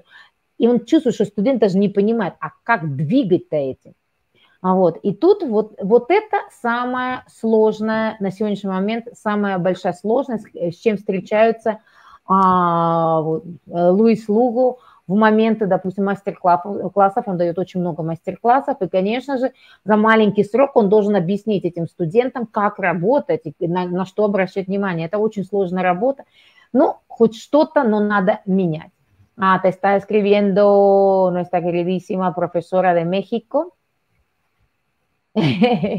наша а, педагог из Мексики, Кармен Летисия, пишет, очень, интереса, очень интересная, очень интересная концепция а, и вообще критерии, пианистические критерии и э, критерии и свобода а, мышления, она э, должна существовать для улучшения результатов. Sí, totalmente, maestra, estoy de acuerdo con usted. Eh, muchas gracias, eh, Carmen Leticia, por estar aquí con nosotros. ¿eh? Y, bueno, a todos los que nos están escuchando, ya, ya, sé que nuestras entrevistas son muy diferentes, no es nada, no es nada común, pero como veis, hay muchos detalles, hay muchos temas que solamente en estas entrevistas se pueden escuchar y aparte aprenden otro idioma. Esa es otra. Bueno, Luis, vamos a pasar a un tema también, un tema que le interesa a todos y todos eh, me preguntan, eh, me, hacen muchas preguntas con respecto a esos temas, los concursos. Pero antes del tema de los concursos, me gustaría que tú desmientes cinco eh, mitos en la música. Primer mito, ¿cómo tú desmentirías? Los voy a leer rapidito y tú intenta, intenta desmentirlo, pero lo voy a leer en los dos idiomas, ¿vale? Dame tiempo. Te lo leo en español y para que te dé tiempo de pensar, lo leo en ruso, así tienes un, par de segundos para pensarlo. Primer mito, los clásicos son la cima de la música. Según este mito, la música clásica europea es el pináculo de la evolución del arte musical. ¿Qué piensas sobre eso? Pues сейчас мы перейдем в другую фазу нашего разговора. У нас, к сожалению, мало времени, поэтому мне бы хотелось с Луисом, э, ну, как всегда, поломать некоторые мифы связаны с классической музыкой, разрушить наши мифы. Первый миф – это классика, это вершина музыкального, э, э, музыкальная вершина. Согласно этому мифу, европейская классическая музыка является вершиной эволюции музыкального искусства. Как вы можете этот миф, ну, может быть, изменить? ¿Qué dices, Luis? Mira, hay una cosa que, que, está clara. Yo he estudiado mucho, yo, yo conozco, es interesante porque yo he estudiado mucho la música popular. De hecho, la produzco, o sea, la escribo y la toco también en, en mis conceptos subversivos. Hay una realidad. En mi criterio, hay mucha gente que dice, bueno, la música es una solo, sí, está bien, dos re, mi, así. Pero cada dos re, mi, así es, depende de cada, de cada persona que la vaya a tocar. La gallina también, tiqui, también, te. Tú tienes como tres perros, ¿no? Si los pones arriba del teclado, no, no los pongas porque te, lo van a arañar todo. Pero te van a tocar de re, mi, fa, sol, así. Ahora, el, la primera cosa, el que escribe música tiene un estudio que la mayoría de los músicos populares no los tienen.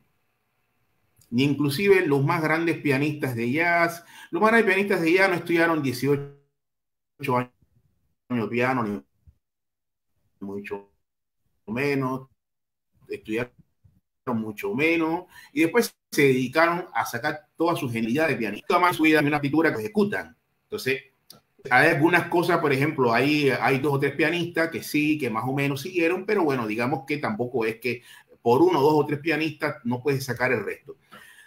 Hay obras muy buenas en la música popular, pero son las mínimas. Por ejemplo, tú escuchas un concierto de Pink Floyd, bueno, cuando Pink Floyd hacía esos grandes espectáculos en los años 80, era como, era como prácticamente escuchar una ópera importantísima. Pero también tienes que escuchar, eran siete, ocho músicos nada más.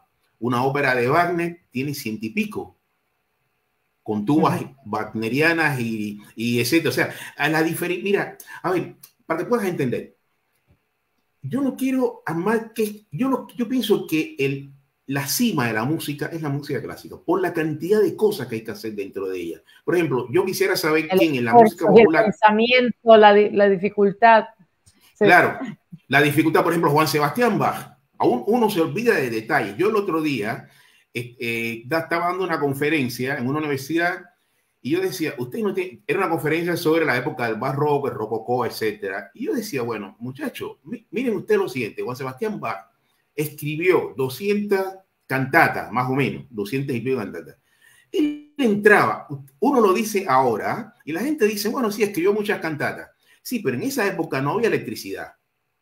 Él empezaba un lunes a escribir una cantata con una pequeña orquesta de cámara, cuatro o cinco voces y un coro la luz se iba, les digo, no había luz, había luz nada más que hasta las 5 de la tarde, porque encima Europa, viste, nada, eh, todo es muy oscuro y muy gris. No había grandes ventanas donde entrara. Entonces el tipo tenía que escribir con velas a veces para seguir toda la noche, porque encima tenía 21 hijos, hay que mantener 21. 21 hijos Juan Sebastián. Ese es mi ídolo. Entonces, después el tipo se ponía a escribir lunes, martes y miércoles, porque el jueves tenía que pasarle en limpio todo y no tenía para escuchar, no, no había un audífono para escuchar. Él tenía que, escribir y pasarle en limpio con una, no con esto, sino con una, ¿cómo se llama esto? De pluma, era dificilísimo.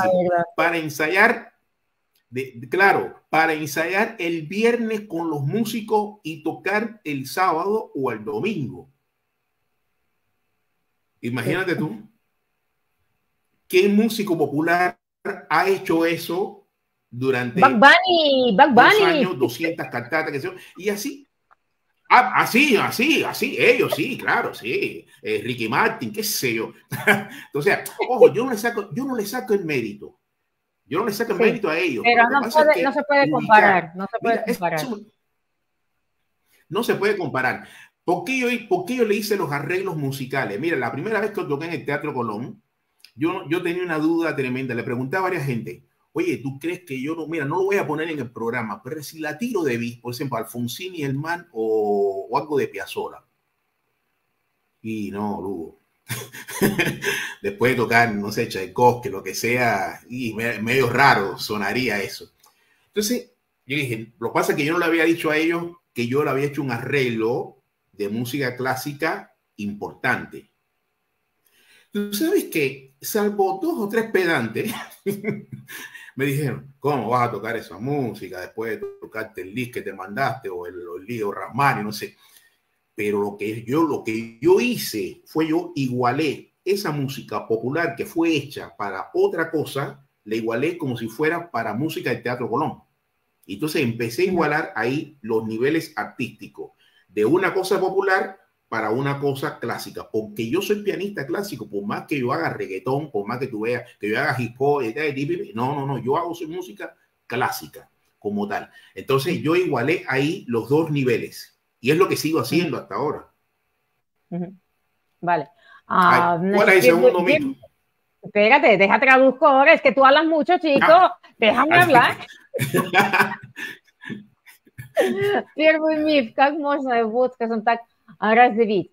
На самом деле, с точки зрения Луиса, он говорит, нет ничего выше классической музыки. Даже просто если взять тот факт, как пишется классическая музыка, сколько души, сколько знаний, сколько, сколько образования нужно, сколько времени нужно. Вы только возьмите в пример кантаты Баха. Как работал Бах? Забываем, что он работал, работал, жил в ту эпоху, когда не было электричества, вообще не было всех удобств, которые у нас есть сегодня, не было как таковых ни компьютерных программ, ничего. Он все должен был писать вручную, работу в течение трех дней со свечкой, то есть в течение всей ночи, чтобы к среде, в четверг он должен был переписывать свою кантату в чистовик, чтобы в пятницу репетировать с своими музыкантами и уже исполнять кантаты в субботу или воскресенье. То есть сам объем этой работы, тоже не забываем, что у него было очень много детей, надо было всех их как-то поднимать, то есть ему нужна, нужна была эта работа.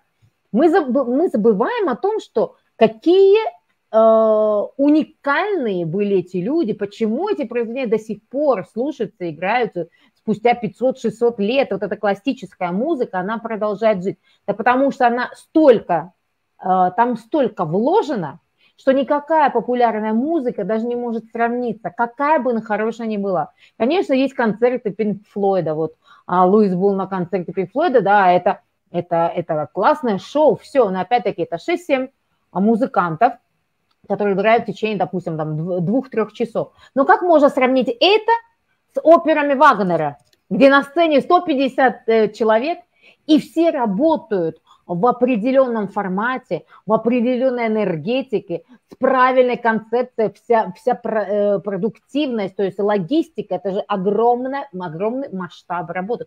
Это даже несравнимо. Поэтому всегда классическая музыка, во всяком случае, у него всегда будет выше любой другой. И несмотря на то, что он делает обработки любых форматов, то есть и джаз, и афро, афрокубинская музыка, он все равно внутри, он классический музыкант. Поэтому у него все произведения всегда будут даже структурироваться по классической музыке. Следующий миф у нас, a ver, el segundo mito. Se habla mucho de la mafia del piano, de que no existe una sola, eh, un solo concurso justo en el mundo. Второй миф, который можно сейчас поговорить, очень много разговоров о фортепианной, фортепианной мафии, о том, что не существует ни одного честного конкурса на этом свете. A ver qué puedes decir.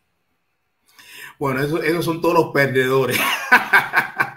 Cuando uno va a un concurso y le, le dicen afuera, ah, no, porque le juraba no sé qué cosa, ah, no, porque a Dorenki se le cayó el cabello, estaba peleado conmigo. y bueno, es así la vida. Después, mira, hay una cosa que es real. Hay una cosa que es real. Primeramente, yo cuando estuve en el concurso de Italia, en, en el Bercelli, habían 110 pianistas. Yo decía, uy, por Dios, 110 pianistas, hay que tocar ahí. estaba Dorensky, estaba Dorensky de jurado. Dije, oh, pues este me persigue todo el tiempo. y bueno, entonces yo decía, eh, está bien, hoy por hoy, y es como que el concurso te abre puertas. Mira, uno tiene que entender que en el año 90, cuando el muro de Berlín se cayó, está bueno que se haya caído por muchas situaciones que todos entendemos.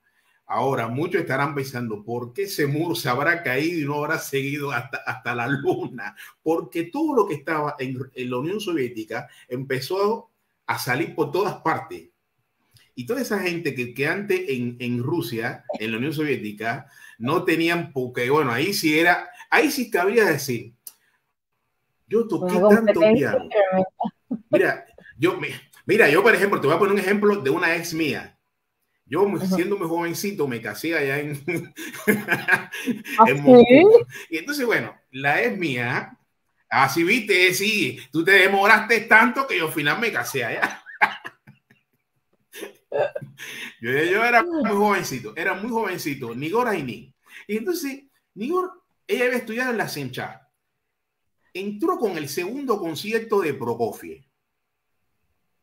al conservatorio con el segundo concierto de Prokofiev y terminó tocando el concierto de Ravel. Y decía, ¿para dónde vas ahora? Y no sé, a una montaña. Entonces, por ahí esas conversaciones decía, yo tocaba muchísimo, ¿por qué toqué una montaña? Bueno, porque la vida dio, porque Moscú era como la película Moscú no cree en lágrimas. Sí.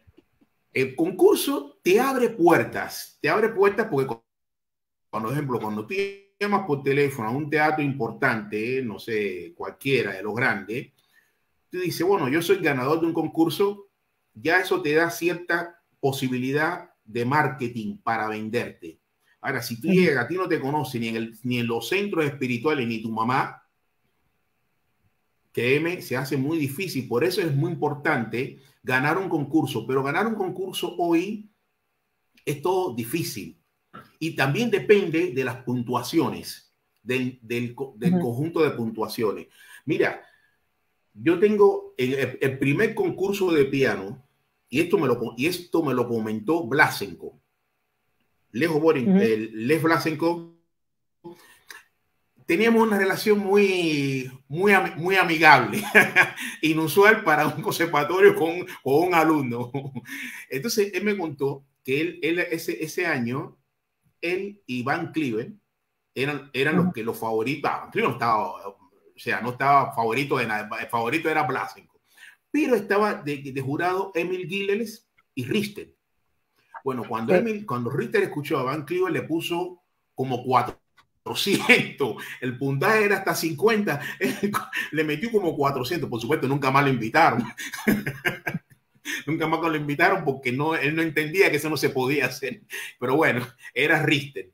Y entonces, eh, por esas cosas de, las puntuaciones, Blasenko no ganó el primer premio y ganó Van Cleaver. Eso me lo contó Blasenko. Sea, todo bien, o sea, desde la buena onda. Yo tengo una experiencia, por ejemplo, en el Colón se hizo hace años atrás un concurso de música, de música clásica pero que participaban pianistas, chelistas, de todo. Y, y, entonces, en la última vuelta, eh, yo era el jurado, el presidente de jurado. Cuando estábamos en la, eh, ¿cómo se llama esto? En, ay, ¿cómo se dice en español? Nada, eh, haciendo quién ganaba primero, segundo, tercero, la, el criterio de puntuación era horrible, porque se decía, bueno, el que llega al, no sé, ahora no me acuerdo cuál era, el que llega a 15 puntos, ese es un premio. El que llega a los 14, y estuvimos así porque yo quería que ganara un chelista, que, que en Argentina un buen chelista cuesta mucho trabajo de encontrar porque no, es una escuela muy floja la Argentina. Entonces, porque los pianistas ya tocaban todo, todo, tocaban, tocaban más o menos ahí como siempre, pero un chelista bueno, yo quería que ganara, pero no podía ganar porque cada vez que sumaba los puntos, uno daba siete, otro daba cuatro, otro daba cinco y no llegaba. Eso es muy injusto, porque es una cuestión ah. técnica nada más. Entonces, Voy a, voy a traducir, Luis, porque estamos ya una hora y media, ¿eh? Tenemos que ir rápido. Todavía me quedan tres mitos que tienes que desmentir. Uh, второй миф Насчет конкурсов, э, то, что ну, многие, многие пишут, что конкурсы на сегодняшний момент это большая мафия. Луис говорит, ну, те, кто такое пишет, это потому, что они не выиграли на конкурсе. И очень часто так происходит, что, к сожалению, люди, которые считают, что они должны были получить лучшую оценку, они не получают, они сразу начинают писать и говорить такое, да, конкурс это такое, как все – как все в этом мире, это очень много факторов, которые могут повлиять. Один из таких факторов очень важных – это а, сама политика подсчета голосов. То есть каждый конкурс, там своя политика, там своя, так сказать, система.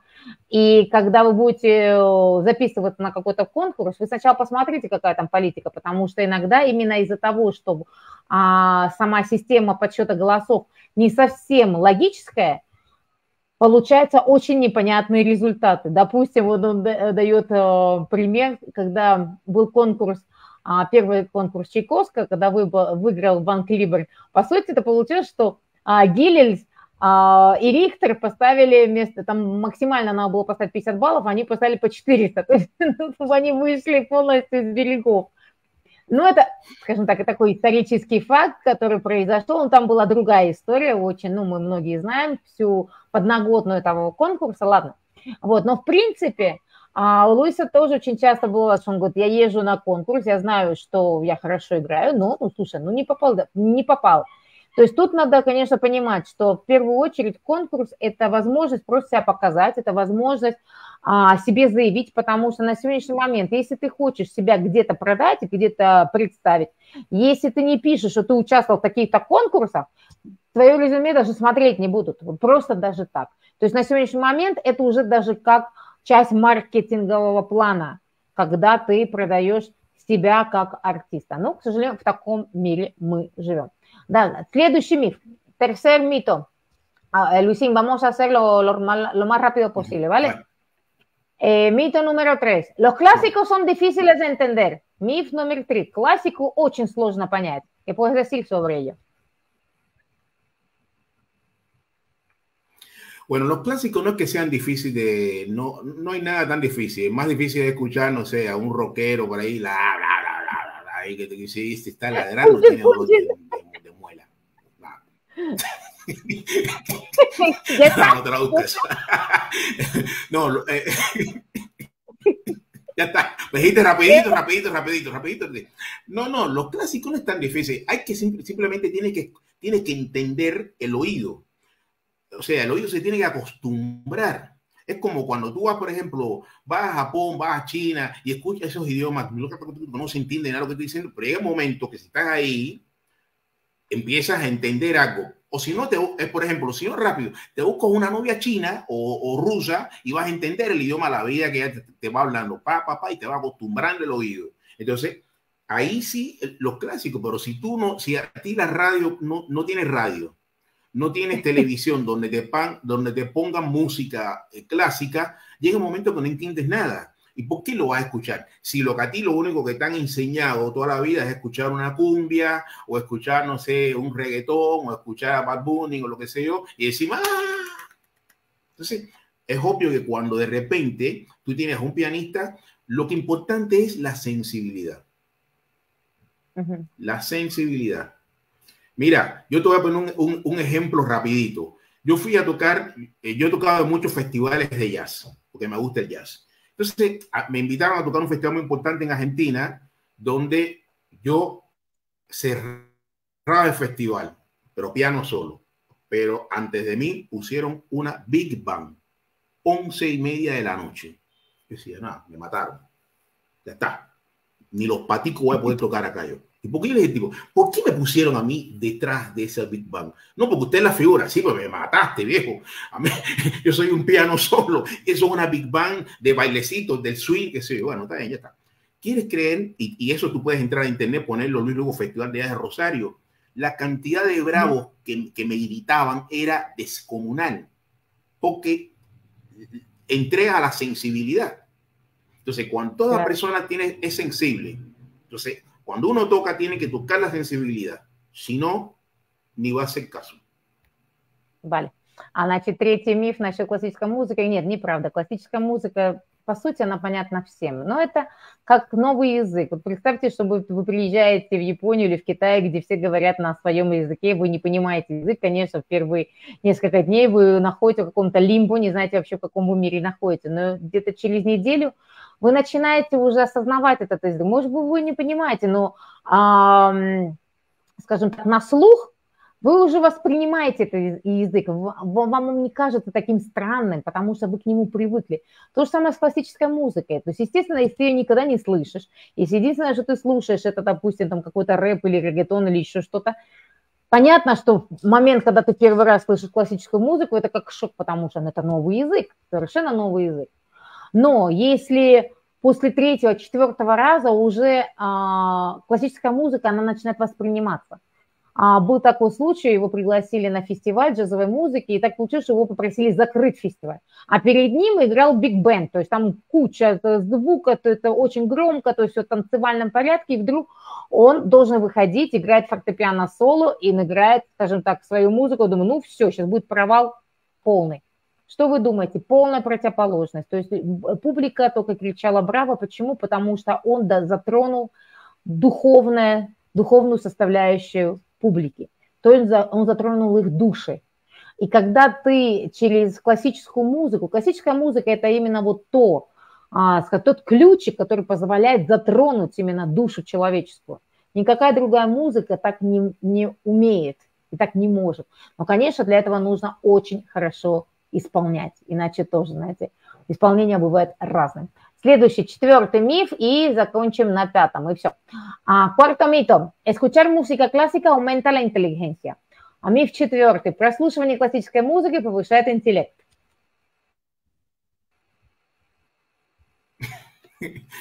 Bueno, no sé. Bueno, el problema es que, a ver, los lo, dos, ¿no? La verdad es que no creo que eso pueda ser.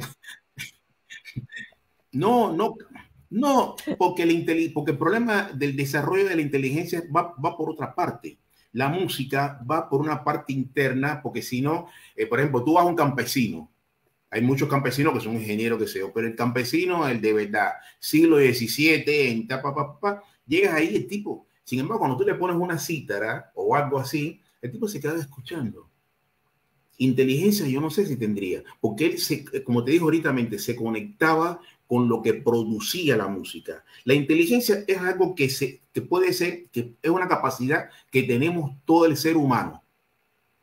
A diferencia de los animales, los animales mucha inteligencia no tienen porque ellos lo que tienen es otro tipo de tracción con esa parte del cerebro. Son más vivos, son más, eh, saben cómo atacar, o sea, agarran todo lo que tienen, esa es la capacidad, eso no es inteligencia. La inteligencia es, algo que, que tiene el ser humano, pero la tienes que desarrollar. Es como la música, es como el pensamiento, la inteligencia se genera, la, eh, la inteligencia genera pensamiento, en los animales no genera pensamiento, sino genera tácticas. Y sobre una pero ayuda a la música clásica o no sí pero no, pero el tema de la música clásica es que para tú entender ciertas cosas de la música clásica, que es para que eso vaya hacia el corazón, tú tienes que generar las diferenciaciones de pensamientos musicales. Cómo apoyas la mano, cómo tocas rápido, cómo pones los dedos así, cómo los pones así, cómo los pones así, cómo haces esto. Si tú no dominas eso, el resto es todo muy igualito. Lo que le pasa a los pianistas de ahora, que los pobrecitos Tocas hoy, pero mañana no me acuerdo de ti. Ya. А насчет, насчет того, что если классическая музыка, она развивает, а, повышает интеллект, э, интеллект может повысить, чем, вообще, если честно, интеллект – это отдельная часть. Музыка, она может повысить музыкальное мышление, музыкальный интеллект, внутренний интеллект. То есть в зависимости, какой интеллект мы собираемся развивать. Конечно, классическая музыка, она помогает, потому что она, она заставляет, чтобы мы, а, э, для того, чтобы ее понять, надо разбудить определенные а, точки, нервные точки, нервные окончания, которые могут заставить понять эту музыку. Но опять-таки сказать, что классическая музыка именно повышает сразу интеллект, такое, такое сказать конкретно нельзя. Mito número 5. el oído para la música ah, sí, para ser músico, solamente puede, puede ser un músico el que tiene oído absoluto, es falso o no. Uh, миф номер пять. Музыкальный слух. Uh, чистый музыкальный слух. Это только может быть врожденным или оно может быть развито? Inservible. El oído absoluto. No tiene ningún valor musical. Pero se, pero se puede desarrollar, ¿no? No, no, eso no se desarrolla. Eso es una virtud que es virtud, pero es nada. Es como tener los ojos azules o tener los ojos, eh, no sé, de otro color, verde. ¿Por qué? Porque el oído absoluto, la única, el oído absoluto puede ser interés. Espérate, el oído absoluto te puedo explicar para qué sirve. El oído absoluto para lo que puede servir es, por ejemplo, a mí me ha servido mucho. Yo tengo oído absoluto, porque yo no necesito escuchar un piano para de Yo sé cuál es el la, sé cuál es el do, sé cuál es el sol, no lo necesito. Ahora yo, por ejemplo, si estoy en una guagua, o sea, un colectivo, en, un ómnibus o en un taxi, se me ocurre de repente una idea, yo digo, antes de que se me olvide, le escribo acá, taca, taca, taca, taca, taca, taca, taca. Entonces le escribo, por eso, para eso me sirve el oído absoluto. Si yo no tuviera oído absoluto, no podría escribirla acá. Porque cuando llegue a mi casa o llegue a un lugar donde hay un piano, se me olvidó Entonces, para eso me sirve, pero para tocar el piano no, porque en realidad no tiene valor de uso. Yo para tocar el piano o para, eh, o para tocar el violín o lo que sea, lo que necesito es tener técnica y conocer todas las cosas que hemos hablado. O sea, del oído absoluto, nada. Es nada más que para decir, ¿qué estás tocando? Ah, me está tocando un la, un do. O sea, nada, para sacarle el teléfono a una chica a las deas tengo oído absoluto, acá la chica dice, ay, oído absoluto es como Mozart, es como se usa. Mozart tenía oído absoluto, Juan Sebastián Bach tenía oído absoluto. Eh, bueno, acuérdate cómo terminó el Requiem, vainita, siquiera lo terminó Mozart. Es, todo enfermo ahí, y entonces Salieri escribió tócame el fa, y Salieri que, que, es un hijo de perra, donde, donde dijo, este re le puse, ponle un mi, para, para, para fastidiarle la música a Mozart. Y, y cuando llegó a su casa, el tipo decía, Dios, ¿por qué tuvo que nacer Mozart y yo no? Así. Bueno, eso es para lo único que te sirve el oído absoluto. Bueno, tienes a una chica que la quieres impresionar y como ella dice, dicen que Anda, Luis, por favor. Son los tipos más áparos del mundo. Entonces, para lo único que te puede servir el oído, fuera de eso, para tocar el instrumento, bueno, no te sirve demasiado porque no tiene valor de uso, salvo que seas un compositor que no tienes medios para escribir y estás en el medio de la calle y escribes la nota que se te ocurrió para que no se te olvide. Абсолютный слух, он, э, скажем так, но это не самая важная составляющая для того, чтобы учиться музыке и стать музыкантом. Хороший слух достаточно. Потому что абсолютный слух, да, если ты композитор, если у тебя нет инструмента, тебе надо быстро что-то написать, э, сочинить какую-то музыку, вот она у тебя в голове, ты начинаешь писать. Если у тебя абсолютный слух, как у Моцарта и как у Бетховена, как у больших композиторов, ну, конечно, это помогает. Что касается музыкантов, обыкновенный, скажем так, нормальный среднестатический слух, просто сама возможность, все равно надо развивать другие качества в музыканте, чтобы он стал музыкантом. Одного абсолютного слуха точно недостаточно. Вот, конечно, можно сказать, у меня абсолютный слух, но поверьте, это не, это не, скажем так, не самый важный пункт, который а, представляет, который может а, сделать из музыканта, превратить его в супер какого-то совершенного музыканта. Это далеко не а, абсолютный слух. И последний, el último mito, Eh, necesitas talento para aprender a tocar un instrumento musical. Последний миф. Чтобы научиться играть на музыкальном инструменте, обязательно необходим талант.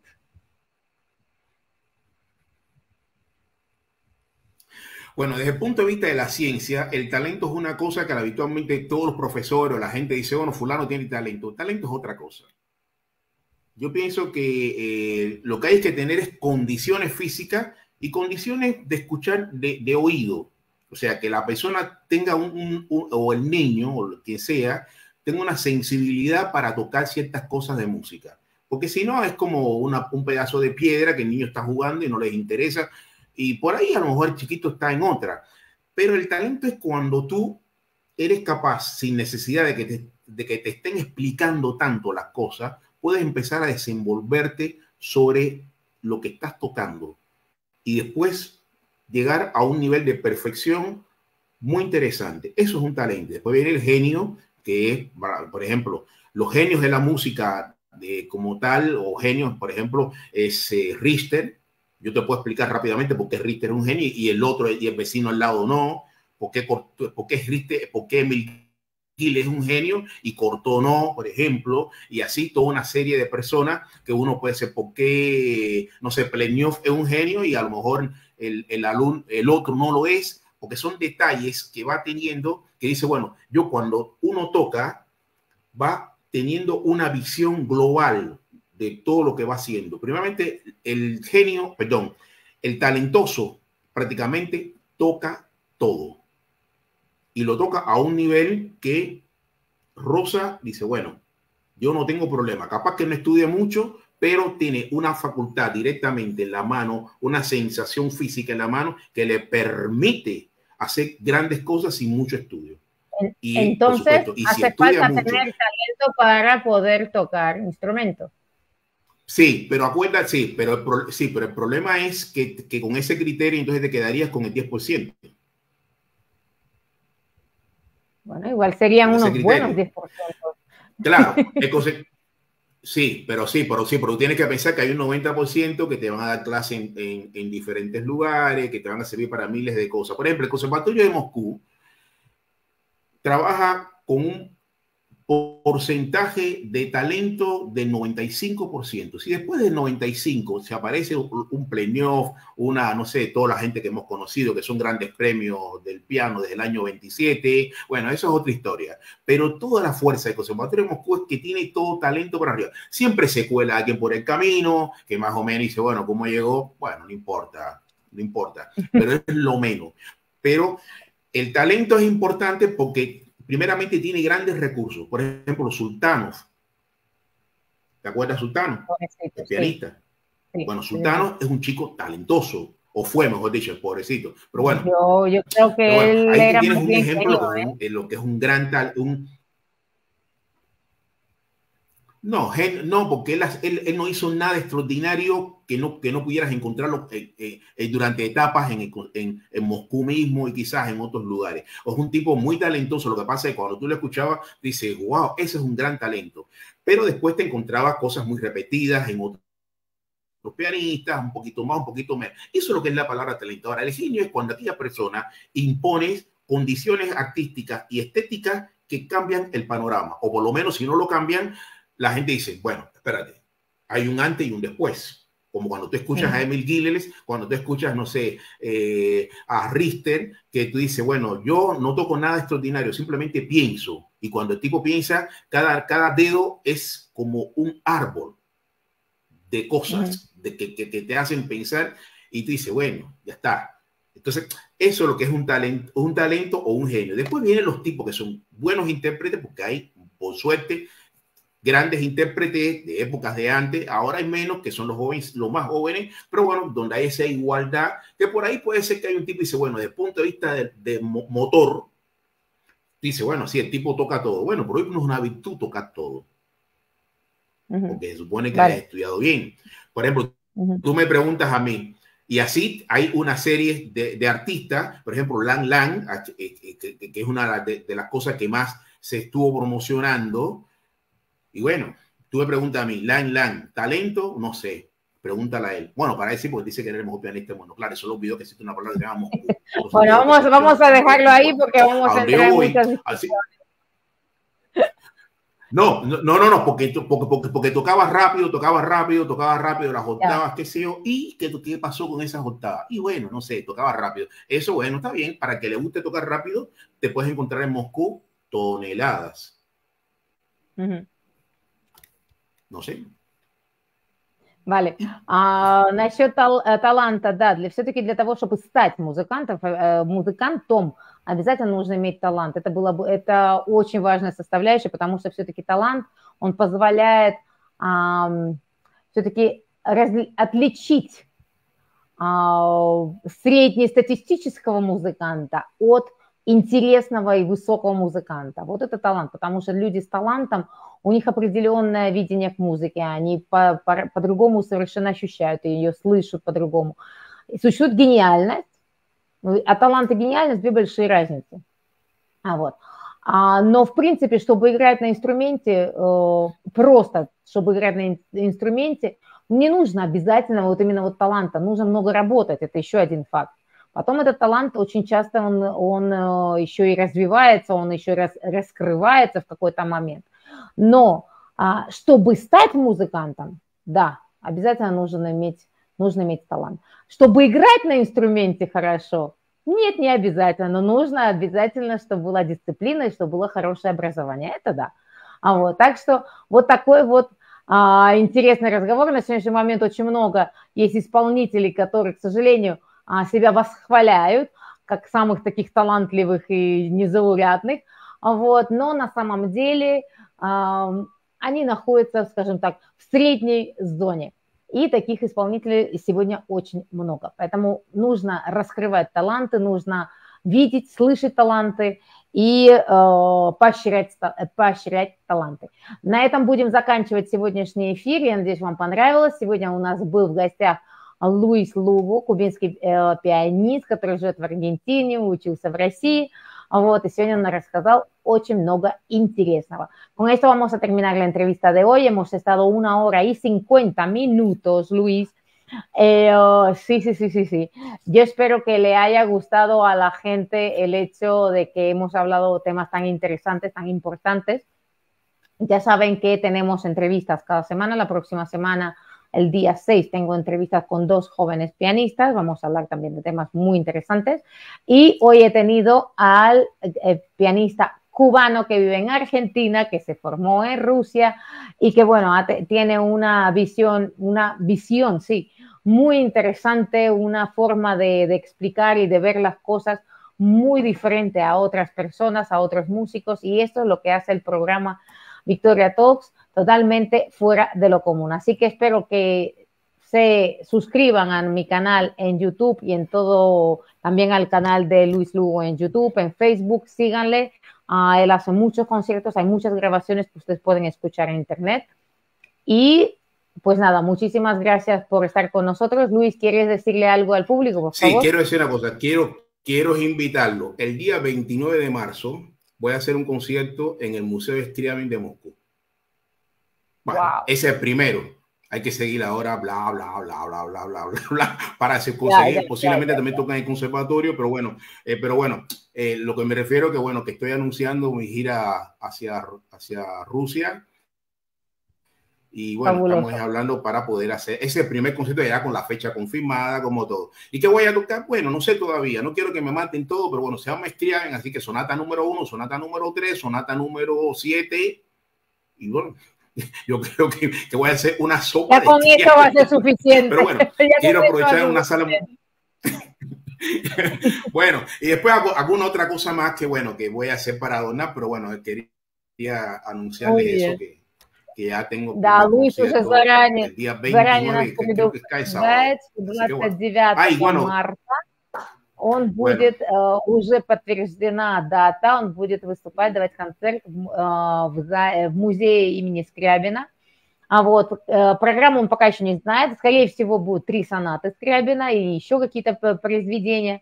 А вот, так что есть те, кто в Москве, те, кто в России, пожалуйста, приходите 29 марта. Потом еще будут несколько, несколько концертов, пока еще они не, э, ну, то есть пока еще дата не точная, но, скорее всего, это будет небольшое турне по России. Давно Луис не бывал в России, поэтому очень доволен, что вернется а, в, в эту страну и будет а, предоставить возможность играть на концерте. А вот ¿Te vas a despedir del público?